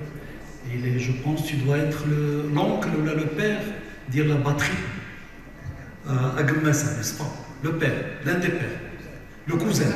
Le cousin, il a fait un excellent travail de RD quand il, était à Gmessa, il le continue, il a, il a gardé avec lui cet esprit. Je sais qu'au sein de son acide, il y a plusieurs pistes qui sont initiées et euh, il fait partie des enfants-sœurs, monsieur le ministre. Donc, euh, merci. vous la parole. Euh, vous, étiez parmi les, en tant qu'acteur, parmi les premiers à installer, je pense, et utiliser l'énergie verte, éolienne. effectivement. Et vous êtes aussi dans l'économie circulaire, n'est-ce pas? Oui, dans les déchets. Je vais, en parler effectivement sur les opportunités. Euh, vis-à-vis de l'Europe, il faut savoir que l'empreinte ciment au Maroc, l'empreinte carbone du ciment au Maroc est plus faible que l'empreinte ciment en Europe. Donc forcément, euh, si demain le CIBAM se met en place, même progressivement, ça va créer de manière un petit peu naturelle un avantage compétitif, toute chose égale par ailleurs, puisque notre empreinte carbone est plus faible. On a aussi d'autres avantages qui feraient que, éventuellement, l'industrie cimentière euh, marocaine pourrait s'exporter. En tout cas, s'exporter mieux. Euh, d'abord, on a une performance industrielle excellente au Maroc. Il faut savoir, je ne sais pas si vous le savez, mais euh, l'industrie cimentière marocaine est régulièrement en tête mondialement en termes de performance industrielle. Sur l'année 2022, les usines cimentières les plus performantes au monde étaient au Maroc. Euh, on a, euh, comme on dit, une empreinte carbone plus faible et on peut encore la réduire. pourquoi? Parce qu'on a au Maroc la pouzolane naturelle, on peut développer de l'argile calcinée, on peut développer d'autres choses qui font que notre ciment peut être encore plus bas carbone. En fait, il y, a, un autre levier que la PC essaie de pousser, qui est de, faire une transition énergétique de l'industrie cimentière pour retirer le coq de pétrole et le remplacer par des combustibles alternatifs. Et notamment, il y a une, ambition très forte qui a été affichée l'année dernière pour euh, développer ce qu'on appelle les combustibles à base de déchets ménagers. Euh, et on a l'ambition à terme de produire jusqu'à 600 000 tonnes de ce combustible, pour substituer jusqu'à 80% de notre empreinte euh, carbone. Donc c'est le problème, c'est qu'on a les idées, maintenant il faut les réaliser. C'est-à-dire que on a l'ambition, mais le CIBAM va plus vite que nous. On, un petit peu de retard sur cette feuille de déchets. Donc, on aimerait bien que ça s'accélère parce que plus on décarbonera notre industrie, plus on sera compétitif et en plus on a de la capacité au Maroc. Très bien. Puisque on pourra exporter plus. Enfin, la dernière opportunité qui est celle qu'a dit Mardoum, qui pour moi est peut-être la plus importante, qui est la possibilité de produire euh, du combustible avec le CO2. Si on arrive à développer une industrie de captage et de valorisation du C, en corrélation avec euh, les projets Green H2, il y a matière à créer beaucoup de combustible vert pour euh, aller vers l'indépendance énergétique durable. Merci beaucoup, M. Chouard. Donc, tout ce que vous avez euh, exposé comme idées et pistes nécessite le financement. Et c'est là où il y a peut-être des opportunités à chercher. Et j'invite ces SFA de nous donner de l'appétit aux industriels et aux investisseurs de manière générale. Donc, juste après votre intervention, je donnerai la parole à la salle et on laisse euh, si et Monsieur le ministre. C'est ici, tu, tu, parce que tu as parlé tout à l'heure des contraintes et des opportunités. Tu as tout, tout. Ça fait là. Alors, je fais attention, monsieur le ministre, même si on ne m'a pas donné le café, parce que j'ai demandé un café vert, il m'a dit Donc, mais j'accepte le café naturel. Allez-y, c'est pas trop tard. Le café vert, c'est un restaurant à la boulette à Tunis. Où ça? À, Tunis. À, Tunis, à Tunis, pour, pour les gens qui connaissent. Ah, euh, opportunité, c'est inévitable. Opportunité et, contrainte, le, duo se, joue. Euh, beaucoup de grandes opportunités euh, naissent de grandes contraintes. Et je rejoins M. le ministre derrière les contraintes. Il faut qu'il y ait d'ambition, beaucoup d'ambition et également beaucoup d'audace à toutes les échelles. À l'échelle de l'État, à l'échelle des industriels, à l'échelle des banques. Et, c'est comme ça qu'on peut, peut, peut arriver. Euh, l'opportunité, il y a des chiffres euh, qu'on a vus ce soir et euh, qui méritent quand même qu'on fasse un peu le détour. Quand on voit que le Maroc, avec un déficit énergétique qui est pratiquement à 100%, et qu'il y a 15 milliards l'année dernière qui a été payé en matière de rien que pour importer le pétrole. Euh, moi, je le vois beaucoup plus du côté opportunité, notamment dans un pays qui a fait ses preuves en matière de production d'énergie renouvelable. Certes, avec pas mal de critiques, pas mal de chemins à parcourir, comme euh, Monsieur le ministre le signalait, mais quand même, nous restons un, pionnier en la matière, il faut y voir euh, une, réelle opportunité. Si je reviens à la PMCI, si je reviens, c'est inévitable, à en tant que groupe, nous sommes, nous sommes la banque verte. Nous sommes la banque verte par le logo, mais nous sommes la banque verte également par le comportement, par l'esprit responsable.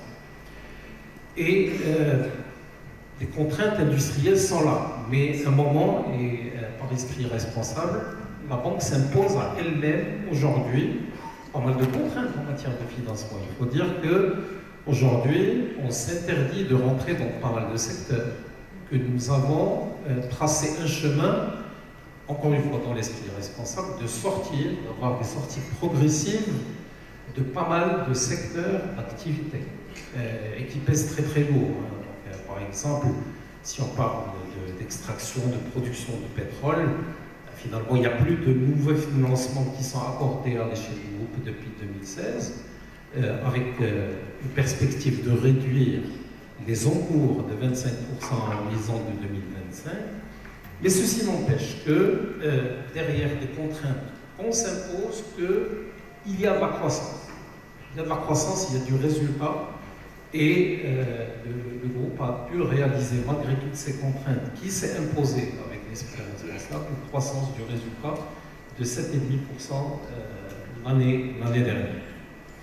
Euh, je reviens au sujet financement. Et dans pas mal de rencontres euh, récentes que j'ai pu avoir avec pas mal de clients. Ce qui est agréable, et ça c'est une sorte de réponse par rapport à la remarque de Monsieur le ministre, c'est que j'en ai rencontré beaucoup qui ambitionnent le verre euh, même s'ils n'ont pas la contrainte Et c'est ça ce qui est extraordinaire. Il y a pas mal de gens qui ne sont pas concernés par les exportations, mais malgré tout, ils voient dans euh, le financement et dans l'économie verte une réelle opportunité pour eux. Euh, l'audace doit venir de la part de tout le monde, y, compris, et là je vais faire de l'autocritique, même au niveau des, banques. Les banques avec la proposition systématique en matière d'alternatives de, financement pour aller vers le vert et ne pas être dans la tendance naturelle pour suivre les, financements classiques au niveau de la clientèle, ça demande beaucoup de vulgarisation, ça demande beaucoup de formation à l'échelle des banques, euh, d'une manière généralisée. Souvent, il y a pas mal d'offres qui sont là. Euh, il s'agit de les creuser. Euh, quand je parle de vulgariser, c'est les projets de taille moyenne. Là, c'est beaucoup plus des actions de proximité de la part des, banques. On n'est pas dans les montages complexes. Mais par rapport à la remarque d'Yann de Mouline, quand on parle de montage complexe, on s'appuie sur pas mal d'expertise en la matière pour pouvoir vraiment affiner les études pour trouver les meilleurs mécanismes. Et les mécanismes aujourd'hui, malheureusement, c'est pas, pas, ah, c'est pas assez vulgarisé. Parce que pour rentrer dans un financement comme celui-là, pour compenser partiellement la contrainte euh, qui est liée à un investissement entre guillemets qui est forcé, il y a des mécanismes qui propose soit de la subvention, euh, qui, euh, qui, propose soit un taux d'intérêt qui est réduit, soit probablement un intéressement sur les conditions du, du, prêt, plus on respecte les conditions qui sont liées à la protection de l'environnement. Rien que tout récemment, on a, signé, on a arrangé un deal à l'échelle de la place avec un montant assez, important, et c'est dire le niveau de la place marocaine, un deal important dans, dans la matière, euh, sous l'intitulé SLL, c'est connu dans le jargon, et qui rentre dans cet esprit-là, et donc c'est du win-win. Euh, une banque qui finance, qui engage également les clients pour plus euh, un esprit responsable supérieur, et plus on avance dans la responsabilité, plus on va trouver des incentives financières à la fin. Donc l'idée tout simplement, nous on doit faire en tant que banque l'effort pour vendre plus, pour se rapprocher davantage, pour vulgariser davantage auprès de tout le monde, mais également pour tous les porteurs d'idées. Euh, il, faut qu'ils s'approchent et qu'ils osent euh, avancer en matière d'idées et euh, les pistes, on les trouvera, on les trouvera. Merci, c'est Merci beaucoup pour toutes vos interventions. Euh, il est temps maintenant d'écouter Lassa, donc je vais prendre une série de cinq questions. Oui, professeur Koma,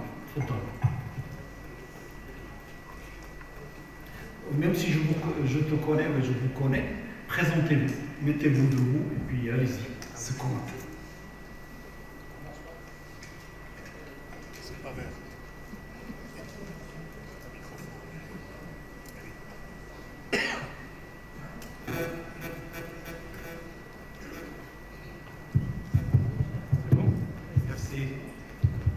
Merci, Monsieur le Président. C'est clair. Christophe Comat, doyen de la faculté des sciences juridiques, économiques et sociales de l'Université de Casablanca.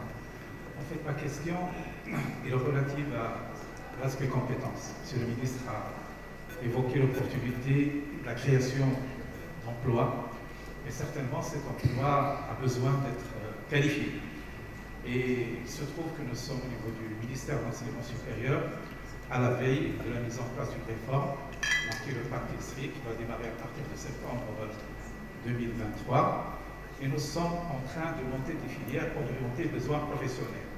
Et ce qui nous intéresse justement, c'est d'identifier quels sont les profils dans ce plan en fait, très ambitieux et qui est certainement création d'emplois, quels sont les profils dont il a besoin pour que l'on puisse, nous en tant qu'université, nous adapter et d'augmenter des programmes de formation en conséquence et en relation avec les besoins, que ce soit exprimé par la vision du ministère, mais également les opérateurs économiques qui sont là. Merci. Merci, professeur Commun.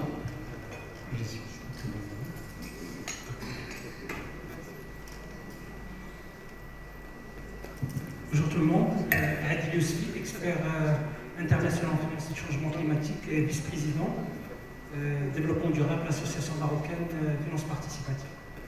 Alors, j'ai une, brève réflexion et deux questions. Alors, euh, euh, faire évoluer la taxe carbone de contrainte en opportunité, c'est qu'il faut agir sur plusieurs jalons. Plusieurs jalons.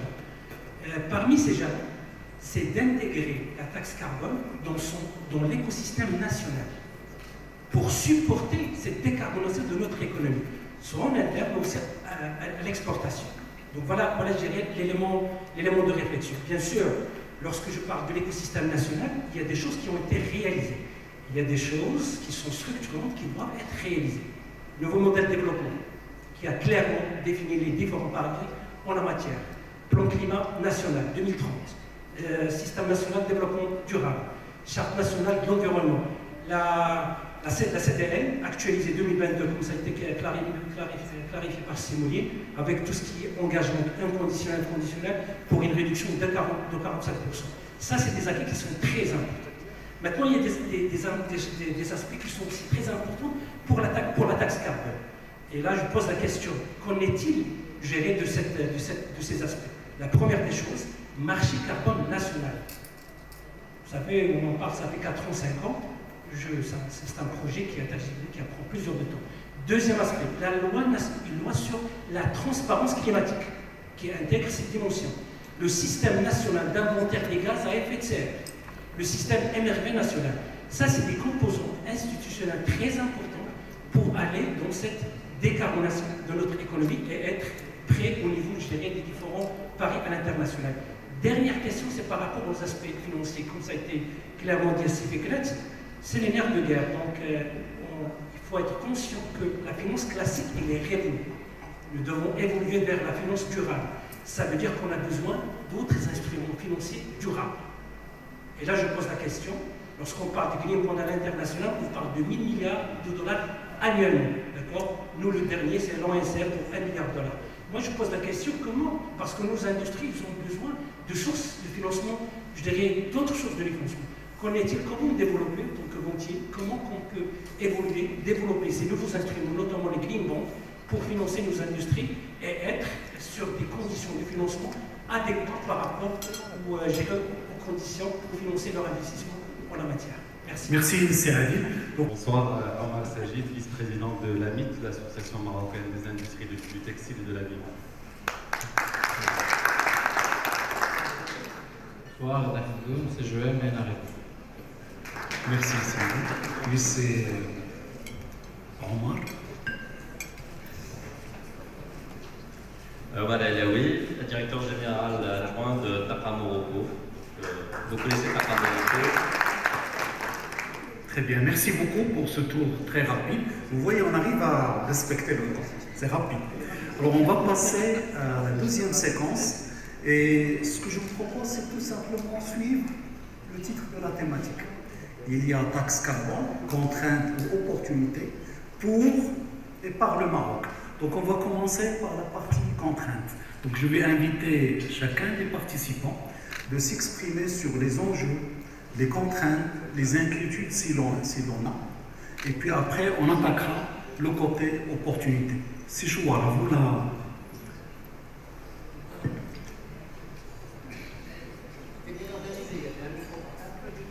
Là, c'est le micro qui a voyagé. C'est un micro qui a voyagé. Sur la partie euh, contrainte, le secteur cimentier est un, des secteurs très concernés par la taxe carbone en Europe, euh, c'est un poids économique qui va se poser sur tous les acteurs cimentiers. Et pour euh, le cas marocain, on exporte encore très peu vers l'Europe, près de 300 000 tonnes par rapport aux autres pays, mais on a en face de nous d'autres pays qui sont beaucoup plus présents sur le marché de l'export, qui sont très compétitifs. L'Algérie notamment, qui, exporte plus de 10 millions de tonnes chaque année, la Turquie qui exporte 18 millions de tonnes, en grande partie à destination de l'Europe concurrence assez forte. On a des opportunités, bien sûr, dans une partie. Mais le poids économique que peut représenter une taxe carbone sur le secteur cimentier, c'est quelque chose d'assez fondamental, d'assez lourd à porter. il y a moyen de ça. Différentes si euh, c'est bien, il ne parle pas, il parle à demi-mot des, des, contraintes, ce qui est bien. Mais on aimerait bien les écouter. Donc euh, le secteur cimentier, pour le savoir, c'est un secteur avec une forte empreinte carbone. Hein, parce que par le process, quand on produit du ciment, on dégage du CO2, naturellement. On a encore au Maroc une industrie qui est extrêmement dépendante des énergies fossiles. 80% dépendant du coque de pétrole pour produire notre ciment. Donc on est un gros émetteur de carbone. Tout ce qui est taxe carbone, forcément, c'est un challenge, puisque euh, à peu près, on est autour de 500 kg de CO2 par tonne de ciment au Maroc. Donc c'est une contrainte assez, élevée pour, pour l'industrie marocaine. Merci, merci Sichouar. Sismaël Aklay. Donc la même euh, question. Quelles sont les contraintes, les inquiétudes? Tu reprends le micro. Merci, Alors, euh, comme vous le savez, l'acier a été identifié parmi les cinq produits qui subiront une taxe carbone à l'entrée de l'Europe. Jusqu'à ces derniers temps, acier n'exportait pas sur l'Europe ces produits. Nous avons lancé un nouveau produit à la fin de l'année 2022, qui est la fibre d'acier, totalement verte, avec un mix énergie éolienne et énergie euh, photovoltaïque. Et nous avons commencé à exporter sur l'Europe ce produit-là. Nous sommes aujourd'hui, nous fournissons la construction du métro de Paris avec euh, cette fameuse fibre d'acier. Et nous continuons à exporter sur le Canada, sur l'Afrique du Sud. Il y a énormément de, marchés qui s'ouvrent euh, à nous. Et notre ambition, c'est de pouvoir diminuer le poids des commodités dans, notre portefeuille produit et aller vers des aciers de haute valeur ajoutée. Et comme je le disais tout à l'heure, nous avons aussi l'ambition d'être un grand recycleur. Donc non seulement nous recyclons la ferraille, mais nous avons l'ambition de recycler aussi tout ce qui va avec la ferraille, l'aluminium, le cuir, le caoutchouc. Et donc nous avons pris la décision de monter un centre de recherche à, Joffre pour pouvoir effectivement travailler sur tous ces nouveaux produits. Donc c'est une contrainte qui pour nous va être transformée en opportunité. Et aujourd'hui, dans le groupe ArcelorMittal, qui est l'actionnaire principal de, de acide, nous sommes benchmark en termes d'acier vert. Nous sommes les seuls à avoir plus de 85% d'énergie verte dans l'acier que nous produisons. À l'échelle du groupe. À l'échelle du groupe, Donc, c'est ça, je vous demanderais de patienter. On va terminer avec les industriels. Je suis un industriel et j'ai le, réflexe de privilégier les industriels. Alors, si, euh, si Omar s'agit.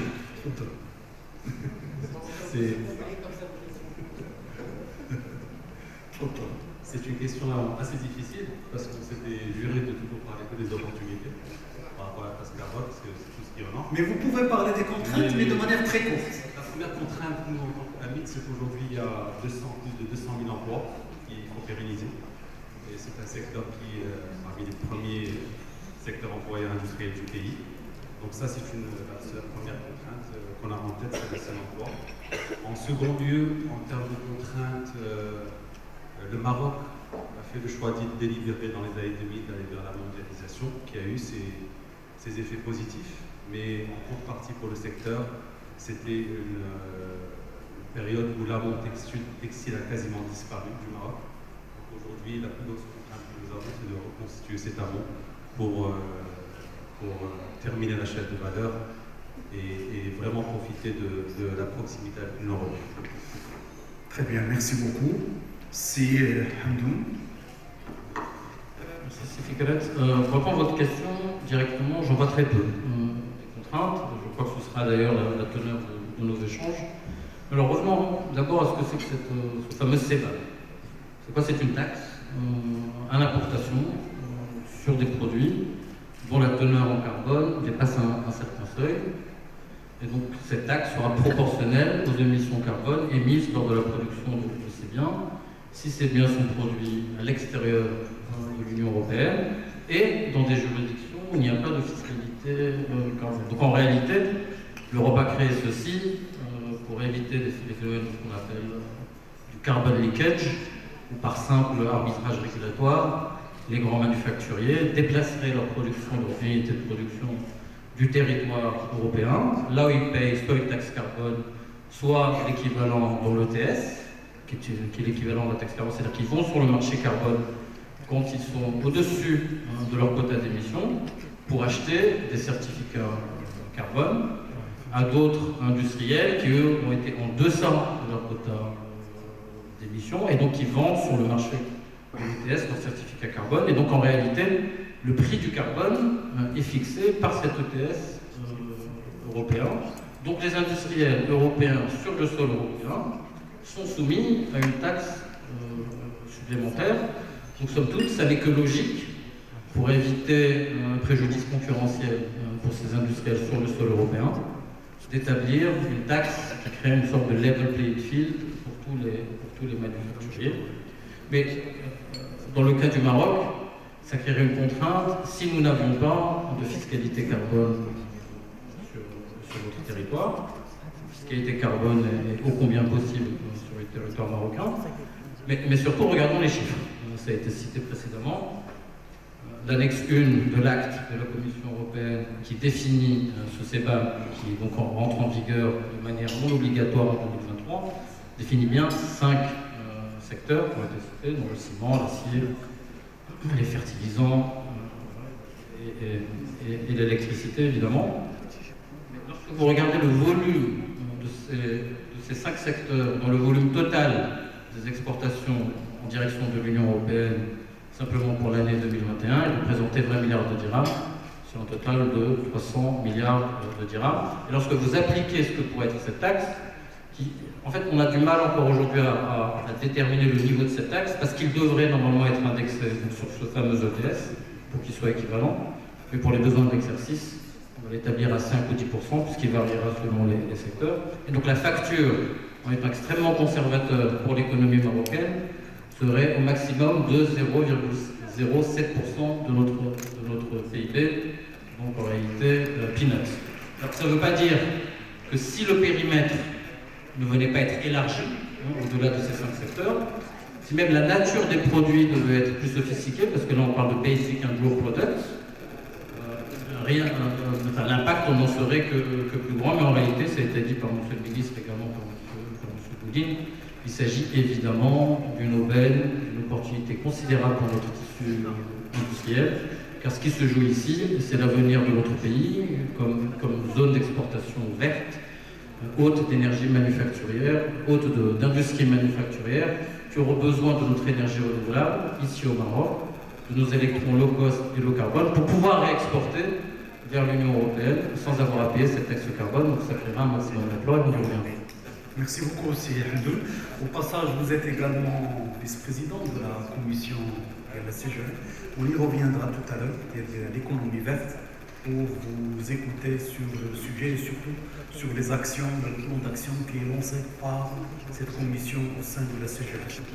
C'est Omar, c'est Omar Alors pour euh, savoir si c'est une contrainte ou une opportunité, d'abord il faut se poser la question notre kilowattheure, quelle est l'intensité carbone de notre kilowattheure produit au Maroc? Euh, notre mix énergétique au Maroc, on sait très bien, est aujourd'hui à 67% d'âge de charbon, ce qui entraîne que l'intensité kilowattheure produit hauteur de 750 grammes euh, CO2 par kilowattheure. Ça peut paraître élevé, euh, comparé à des concurrents du pourtour méditerranéen, c'est surtout élevé par rapport à des consommateurs, euh, je dirais, en France, c'est certain. Peut-être par l'Allemagne, ils sont autour de 300. Euh, la France, c'est autour de 50 euh, grammes de CO2 par kilowattheure produit. Donc on, peut se dire, attention, on est mal positionné. Donc là, peut-être il y a une contrainte. Par ailleurs, le coût du kilowattheure produit au Maroc reste élevé. Il reste élevé, pourquoi? Parce qu'on est dépendant d'intrants euh, fossiles qui fluctuent en fonction des marchés. On n'a jamais pensé qu'on allait acheter du, charbon à 400 dollars la tonne. On l'a fait l'année dernière, alors que le prix moyen, si on voit sur les 25 dernières années, c'était autour de 65-70 dollars la tonne. Donc tous ces éléments-là montrent qu'il y a des contraintes, mais des contraintes qui réellement ont des sous-achats qui sont des opportunités. Parce que, par ailleurs, et on va le voir peut-être dans la deuxième partie des discussions, Le Maroc a beaucoup d'atouts pour transformer ces contraintes que nous avons aujourd'hui en opportunités pour pouvoir décarboner euh, notre production d'énergie électrique et de rendre plus compétitifs euh, nos entreprises à, l'export. Merci beaucoup aussi, Alaoui. Donc je reviens vers si euh, les Hassan Santissi. Toi la parole. Donc tu es président de l'association des exportateurs marocains. Donc il y a la composante commerce. Comment il est, il est vécu commerce à l'export En fait, contrairement à mes prédécesseurs, je crois que le sujet mérite davantage d'explications. La table. Est-elle une contrainte ou une opportunité? Je préfère, vous m'accorder beaucoup plus de temps pour que je puisse, pour que je sois expert. En fait, si vous voulez, la taxe, la taxe, c'est beaucoup plus pour l'export. Alors, je dirais, je commencerai par parler du mécanisme d'ajustement carbone, comme on appelé taxe carbone, entrera en vigueur le octobre 2023, avec une liste réduite des produits concernés. Je, je suis en train de donner des explications pour ceux qui ne sont pas au courant de ce qui se passe. Parce que je sais que tout le monde est au courant, mais je préfère faire des Alors, durant cette première étape, les procédures administratives seront mises en place. Le paiement de cette taxe deviendra obligatoire à partir de janvier 2026. En effet, la décarbonation est le nouveau défi de nos industries nationales. Le Maroc sera directement impliqué par ce nouveau mécanisme. D'autant plus que l'Union européenne constitue le premier marché, pour le moment, je dis bien moment, parce que les autres pays vont se réveiller, pour nos exportations. Plus de 63% de nos échanges sont commerciaux avec l'Union européenne. Toutefois, la décarbonation de l'industrie marocaine est un enjeu placé au cœur de la, transition énergétique voulue par le Royaume. En outre, le nouveau modèle de développement inscrit comme un devis importateur important de croissance pour notre économie. Ajouté aux autres facteurs déterminants de la compétitivité, à savoir l'optimisation et la rationalisation des coûts énergétiques. Par ailleurs, notre pays offre un contexte favorable aux industriels pour réussir cette transition. Le Maroc a adopté en 2009, sous les orientations de Sa Majesté le roi Mohamed VI, une stratégie énergétique basée essentiellement sur les, énergies renouvelables, le développement de l'efficacité énergétique et le renforcement de l'intégration régionale. La clé de la réussite réside dans le nouveau engagement, et de prise de conscience des pouvoirs publics et des exploiteurs qui auront beaucoup à gagner après la mise en œuvre de cette taxe.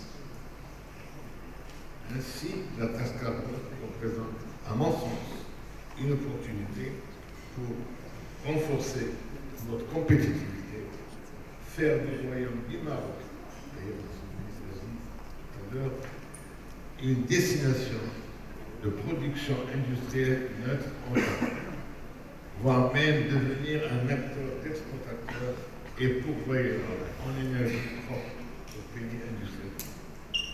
Bien au-delà, les contraintes de cette taxe engendreraient pour notre industrie et pour notre exportation et pourrait aussi être une opportunité pour renforcer la compétitivité de l'Union et la croissance Merci, merci c'est Hassan Sintissi.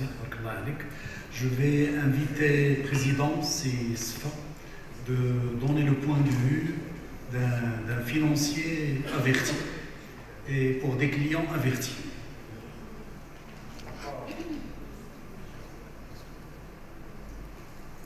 Je ne vais pas aller contre la tendance, euh, qui était beaucoup plus marquée par euh, de l'optimisme et l'opportunité, mais on va s'avouer quand même qu'on commence à partir de contraintes sérieuses, parce que le sujet il porte son nom, c'est le principe de pollueur-payeur. Au moment qu'on parle de paiement, ça veut dire qu'il y a une contrainte forte. Mais encore, euh, il y a toujours, et dans un pays qui a su se projeter beaucoup plus à moyen et à long terme, je pense que la contrainte, elle est surtout à court terme, avec les mécanismes d'investissement, les mises à niveau qui s'imposent à tout le monde, et par rapport auxquels, en tant que financier, en tant que banquier, je dis qu'il y a toujours des solutions par rapport à ça et qui vont dans le sens de l'incitation par rapport à la finance durable, mais euh, tout à fait naturellement, il y a la contrainte est de payeur. On va sortir de ça un tout petit peu. Et, euh, je pense qu'il y a une contrainte qui s'impose à nous tous. Face à tout ça, qui est la contrainte climatique. On a tendance à l'oublier. Tout à l'heure, je parlais de, du fait que j'ai vécu dans trois pays euh, différents, Maroc maintenant, Égypte et la Tunisie. Tant qu'on a les pieds dans un pays, on pense que les changements climatiques, c'est un phénomène local. Mais euh, quand on voit ce qui se passe sur le pourtour méditerranéen, euh, et avec euh, un phénomène d'accélération très très rapide d'année en année, on se dit qu'il y a vraiment un vrai danger en, la matière par rapport au changement climatique. Et donc, il y a le sens industriel, il y a le sens également responsable par rapport à tout ce qui se passe au niveau planète pour essayer de sauver les meubles. Et en sauvant les meubles, on va trouver des opportunités, on va les tard. Merci, merci Sisfa. Alors je reviens à Saïd Mouli. Donc il y a la problématique du changement climatique. Il y a également le bilan carbone, parce que le bilan carbone, l'empreinte carbone, est un passage obligé pour euh, déterminer la taxe et pour dialoguer. Et puis notre pays aussi, dans le cadre de ses engagements internationaux, ses engagements volontaires, il, euh, il s'est lancé des défis à l'horizon 2030. Si tu peux en toucher un mot. Merci. Merci, mais pour rebondir, parce que oui, les changements climatiques sont là, et je crois que c'était la base pourquoi cette décarbonation au début. Les choses s'accélèrent avec le contexte géopolitique et le contexte euh, économique, mais surtout, et je tiens à dire une chose ici, parce que vous avez entendu, la SMEX, la PC, les idéologistes, nous avons la chance dans notre pays qu'on a des commissions dédiées au développement durable dans toutes ces associations. Et depuis plusieurs années. Bien sûr, la CGN aussi, mais tellement c'est important, tellement nous avons la chance, parce que c'est une opportunité par rapport à d'autres pays, c'est parce qu'on a de l'avance. Et on a tous les acteurs qui se sont mis. Et vraiment, euh, c'est très rare quand on fait le tour du monde, on parle lors de la COP, lors de les rencontres sur les changements climatiques et autres, notre pays est dans le top 4 mondial aujourd'hui dans ce domaine. C'est l'indice de performance des changements climatiques qui, a le classement. Les trois premiers, oui, on est, non, on top 7, on est 7 avec les trois premiers qui n'existent pas, donc on est dans le top 4 mondial. Mais c'est très important pour dire pourquoi c'est une opportunité. Et ce que vous avez dit, c'est le volet le plus important. J'ai accompagné le groupe OCP il y a quelques années pour faire le premier bilan carbone du groupe, en 2007. En 2007, lorsqu'on a fait le bilan carbone du groupe, il fallait faire appel à des acteurs étrangers pour pouvoir le faire correctement et qu'ils soient reconnus au niveau international. Et le monitoring du carbone, ça va être la clé. C'est pour ça que dans notre pays, aujourd'hui, il y a un travail qui est fait aussi avec la Fondation Mohamed pour la protection de l'environnement pour que le monitoring du carbone soit fait correctement et qu'il soit reconnu au niveau international. Pour que les industriels, alors l'OCP être carbone neutre en 2040, avec un programme très très fort et très important qui a été présenté devant Sa Majesté, mais aussi toutes les actions qui sont menées aujourd'hui. Dans ce cadre de cette décarbonation, on a montré le côté économique, euh, facture énergétique et déduite, mais le marché du carbone lui-même est un outil. Avec le groupe Lafarge, je crois que le premier, premier, premier euh, crédit carbone qui a été vendu dans le cadre d'un groupe, a été fait avec le parc éolien de Tétouan pour le groupe Lafarge. Et je crois que c'est des modèles que nous avons dans le pays On a aussi le parc éolien de l'ONE de Souera, qui a été, avec les mécanismes de développement propre, qui a servi pour pouvoir vendre du crédit carbone dans notre pays. Donc on a des expériences. Il faut absolument qu'aujourd'hui, tous les outils soient mis en place pour que ce volet monitoring, ce volet marché carbone, et qui peut être aussi un marché carbone national. Et il n'y a pas de raison. Et il n'y a pas de raison que aussi le Maroc ne mette pas un jour une taxe carbone à ses frontières. Donc tout ceci rentre dans cette politique de, carbone, de, décarbonisation. décarbonation. Décarbonation, hein. Mais c'est un volet important parce que nous sommes dans ce schéma avec tous les outils. Et les outils existent. Et je crois que nous avons des expériences. Et je viens de dire ici, nous avons la chance d'avoir ces responsables développement durable dans toutes les associations. Et c'est très important parce que c'est ensemble qu'on a réussi à avoir ce modèle marocain aujourd'hui et qui peut euh, se développer encore plus fort à, à l'avenir. Alors juste euh, euh, quelques chiffres. Donc 42,5%, c'est ça l'engagement dans notre pays? Alors, de réduction? Alors 42 pour le, niveau par rapport à alors si c'est conditionné ou pas conditionné? Les deux. Alors, hein, parce que le débat qui a eu lieu dans la COP, c'est de dire bon, il y a des pays qui font, des, pays qui font des efforts. Et quand ils font des efforts, on leur dit, ben, vous, avez, décidé de faire ces efforts, tant mieux pour vous. Mais vous ne serez pas récompensés. On leur dit, attention, les pays qui font des efforts, les pays du Sud, alors le Maroc c'est 0,2% des émissions mondiales, toute l'Afrique c'est 3% des émissions mondiales. C'est pour ça que nous avons beaucoup de débats avec euh, nos collègues du continent. Pourquoi faire des efforts? Nous, subissons les changements climatiques, nous ne sommes pas responsables des changements climatiques, nous émettons 3%. Nous étions au Sénégal il n'y a pas longtemps, ils ont trouvé du pétrole et du gaz, aucune banque ne veut financer, parce que c'est plus fossile. L'Afrique, c'est 3% des émissions. Il est anormal de dire, même quand on dit fossile aujourd'hui, eh ben, nous sommes dans une transition énergétique et on dit, oui, on va encore utiliser du fossile pour un certain nombre d'années. Et il faut aider ce continent où il y a 600 millions de citoyens sans électricité, d'abord à se fournir son propre énergie. Il est un modèle pour ses citoyens, et ensuite d'accompagner cette transition qui est de plus en plus économique, qui est de plus en plus rentable, comme je l'ai dit, mais c'est ce, volet-là d'engagement climatique. Et notre pays, c'est vrai, est très volontaire, mais avec ce côté d'accompagnement nécessaire pour cette transition, surtout pour les pays qui, subissent ce changement climatique.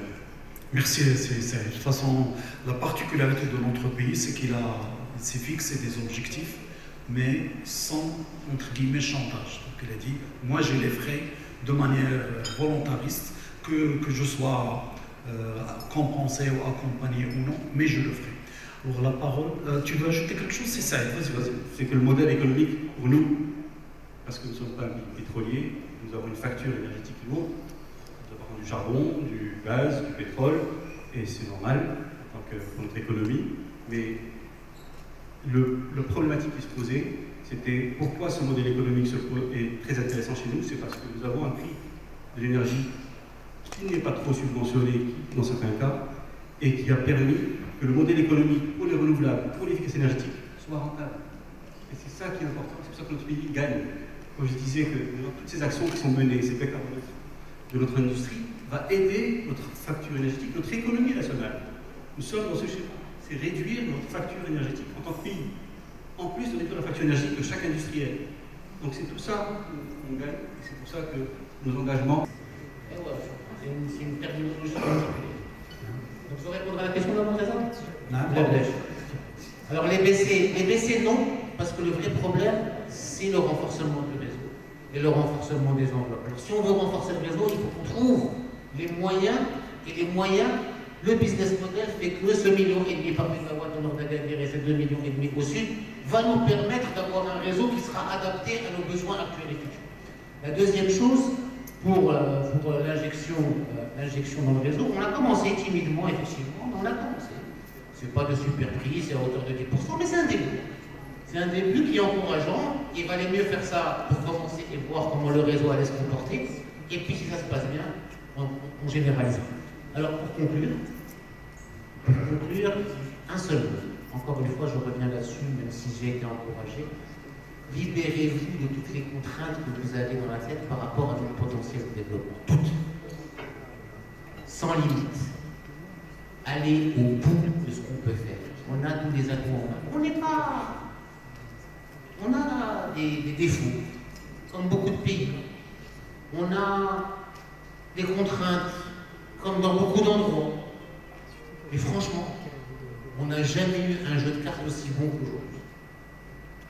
Allez jusqu'au bout avec ce jeu de cartes. Ne vous limitez pas, il peut. Et c'est un devoir aujourd'hui. C'est plus juste un appel à vœu. C'est une responsabilité. Cette limitation qu'on a dans nos têtes aujourd'hui hypothèque l'avenir, notre avenir et l'avenir des générations futures.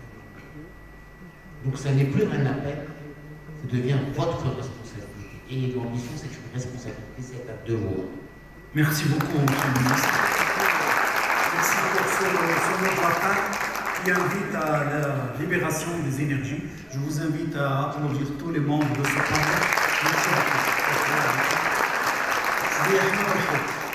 À toi la, la parole.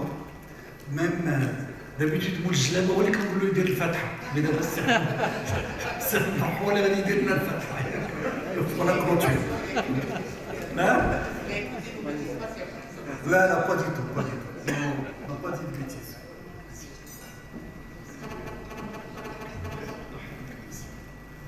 Merci beaucoup, cher ami.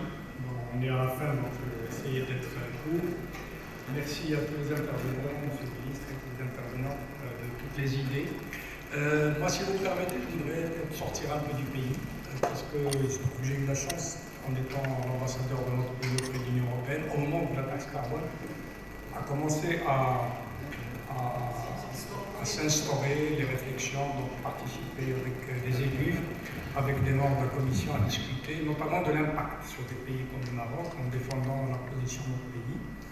Euh, je peux vous dire que déjà la position du Maroc était facile à défendre parce que certains titres anecdotiques me disaient pourquoi il n'y a pas de parti vert chez nous aussi puissant que les nôtres. Euh, je disais chez nous euh, le changement climatique, le respect de l'environnement, les énergies renouvelables, tout ça c'est des choses qui sont déjà consensuelles dans notre pays, donc on n'a pas besoin de quelqu'un en particulier qui vient contraindre le pouvoir à changer ses habitudes, puisque c'est porté par le plus haut sommet de l'État, par Sa Majesté le Roi, et donc tous les partis, euh, normalement, sont alignés sur cette stratégie qui est illustrée par euh, la politique de production d'énergie renouvelable, par euh, les euh, lois sur l'environnement, etc.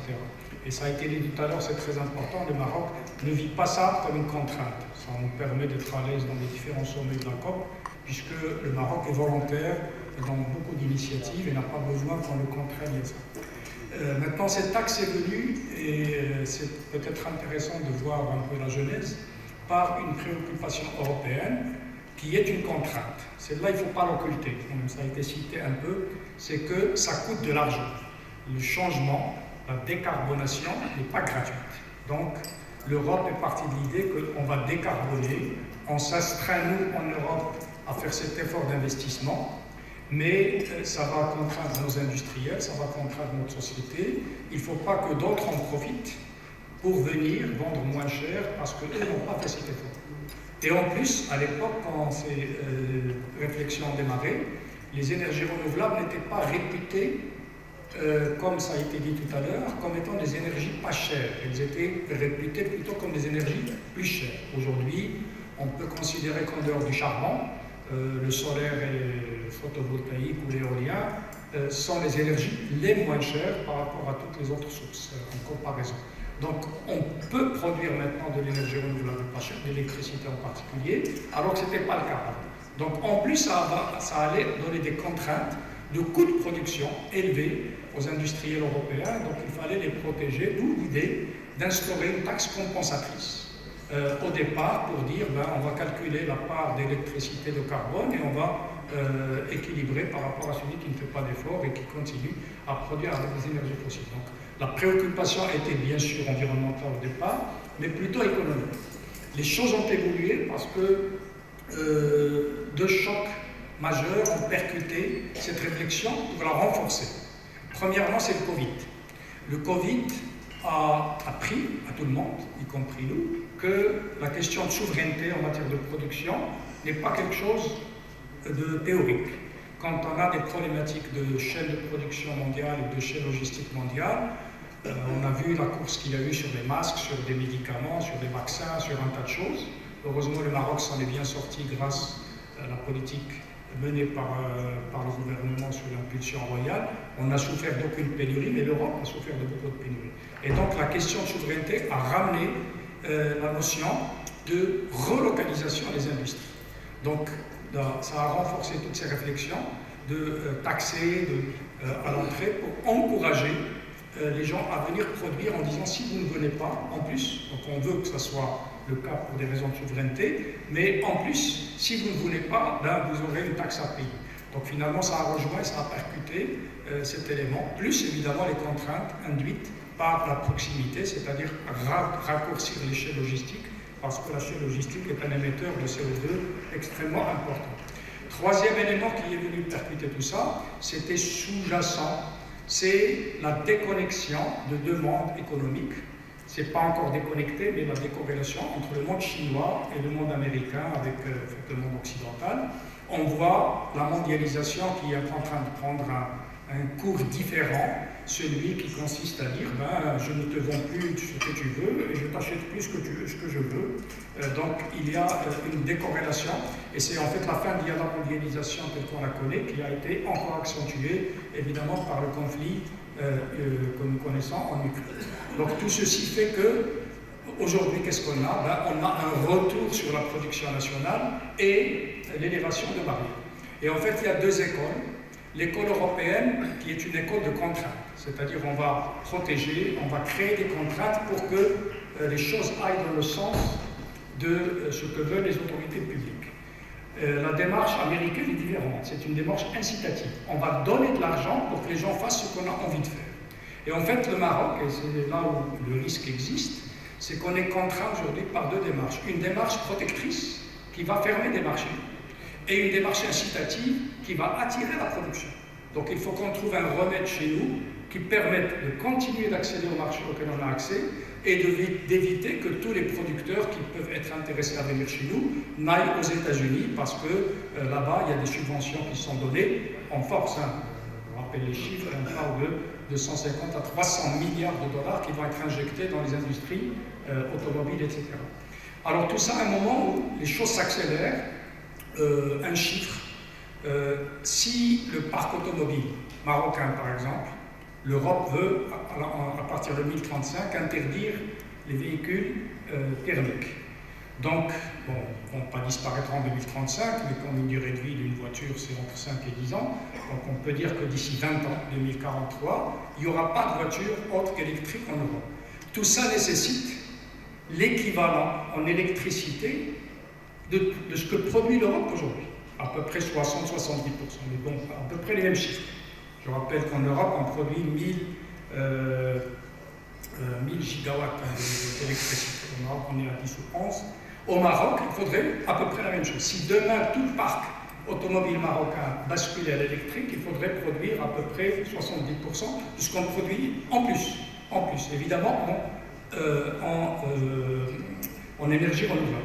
Alors l'Europe est confrontée à produire pour basculer vers l'électrique 70% de ce qu'elle produit déjà et convertir ce qu'elle produit déjà en fossile en énergie renouvelable. Vous imaginez le besoin que ça fait. Alors l'opportunité, moi je la vois là-dedans, la vraie opportunité, c'est que le Maroc se transforme en producteur d'énergie électrique pour les autres, parce qu'on a des champs de soleil, des champs éoliens, de, des capacités absolument du l'éolien, qui est l'un des meilleurs du monde. Et donc il faut se positionner. D'ailleurs, à titre d'anecdote, euh, quelqu'un me disait, si vous, vous savez vous y prendre au Maroc, le prochain pays pétrolier, entre guillemets, c'est vous. Et en fait, toute la stratégie qui aujourd'hui euh, nous nuit parfois parce qu'on n'est pas un pays énergie, d'énergie, de, enfin de, commerce d'énergie, euh, on est classé dans une case à part, on, on voit l'intérêt que peuvent, prendre les pays producteurs de, gaz ou, de, pétrole.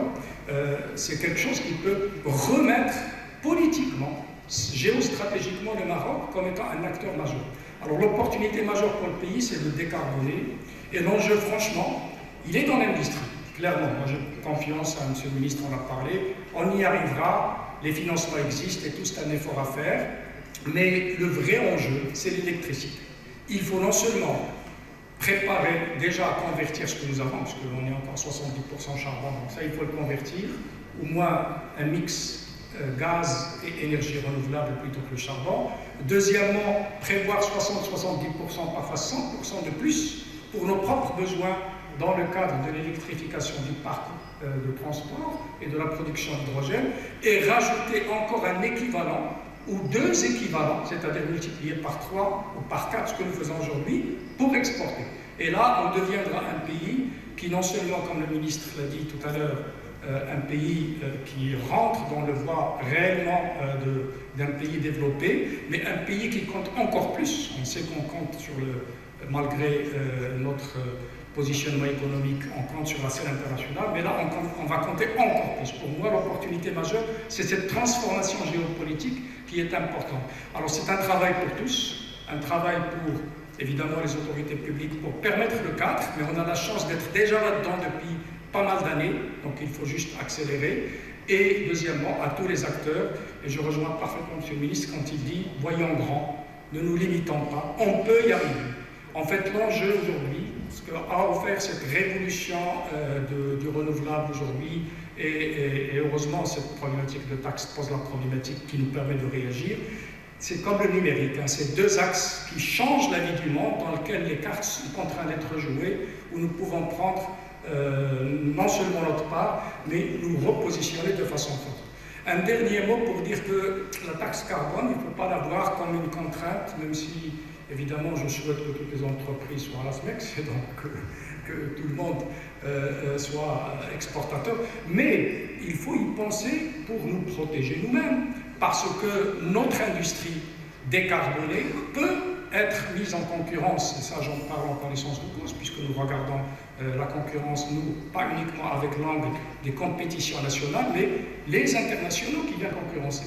Or, il faut qu'on pense nous-mêmes à dire, si notre industrie se décarbone, pour le marché local, comment la protéger d'une compétition qui est, comme le fait l'Europe, euh, qui est euh, tout à fait injustifiée parce que d'autres continuent de produire avec des moyens ou des sources euh, non décarbonés. Et du coup, euh, moi je prends qu'il y ait une taxe carbone dans notre législation euh, pour permettre de protéger notre marché. Et merci. Merci beaucoup Sergio pour cette mise en perspective qui est très ambitieuse et qui me rappelle ce qui est mis dans le rapport du nouveau modèle de développement.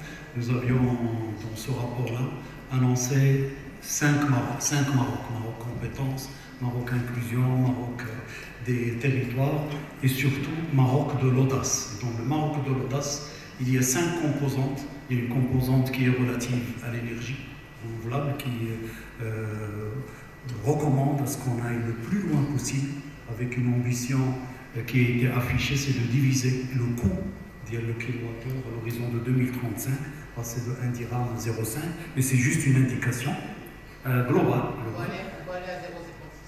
0, ça dépend 0,50 de quoi? On dirait 2 centimes si vous voulez. Alors le, deuxième c'est le Maroc numérique qui est, qui est, là et puis le Maroc du savoir. Je ne vais pas citer les autres, mais vous pouvez le consulter à, volonté sur le net. En tout cas, merci beaucoup. C'était un plaisir de, partager avec vous moment. Euh, est prévu ou pas? Non? Merci. Merci à. Je crois que ainsi on fera notre soirée. Merci à nos intervenants. Merci à nos chers participants. Merci, cher Sergio. Si Fikra, si euh, si Monsieur euh, le ministre, Monsieur Sentici, euh, Monsieur Sagid, je ne vous vois pas, Monsieur. monsieur Mohamedi. Et monsieur, non, Monsieur Mohamedi, c'est le Monsieur Alaoui Mohamedi. Monsieur. Monsieur Hamdoul, merci à vous tous. Merci à vous également d'avoir participé à ce débat. Euh, je crois que nous allons sortir de cette phase, de cette salle très optimiste parce que bon, le ministre nous a dit qu'il n'y a, a, pas de contrainte, au contraire. Euh, c'est une opportunité pour les entreprises marocaines en termes de création d'emplois, en termes d'investissement, mais également en termes de compétitivité. Donc il ne reste qu'à créer dans la législation une taxe carbone. Comme ça, je crois qu'on va franchir le pas. Merci encore une fois et je crois qu'on va prendre juste une photo euh, souvenir, si vous le permettez, cher intervenant. Et merci à toi pour tout ce que tu as fait.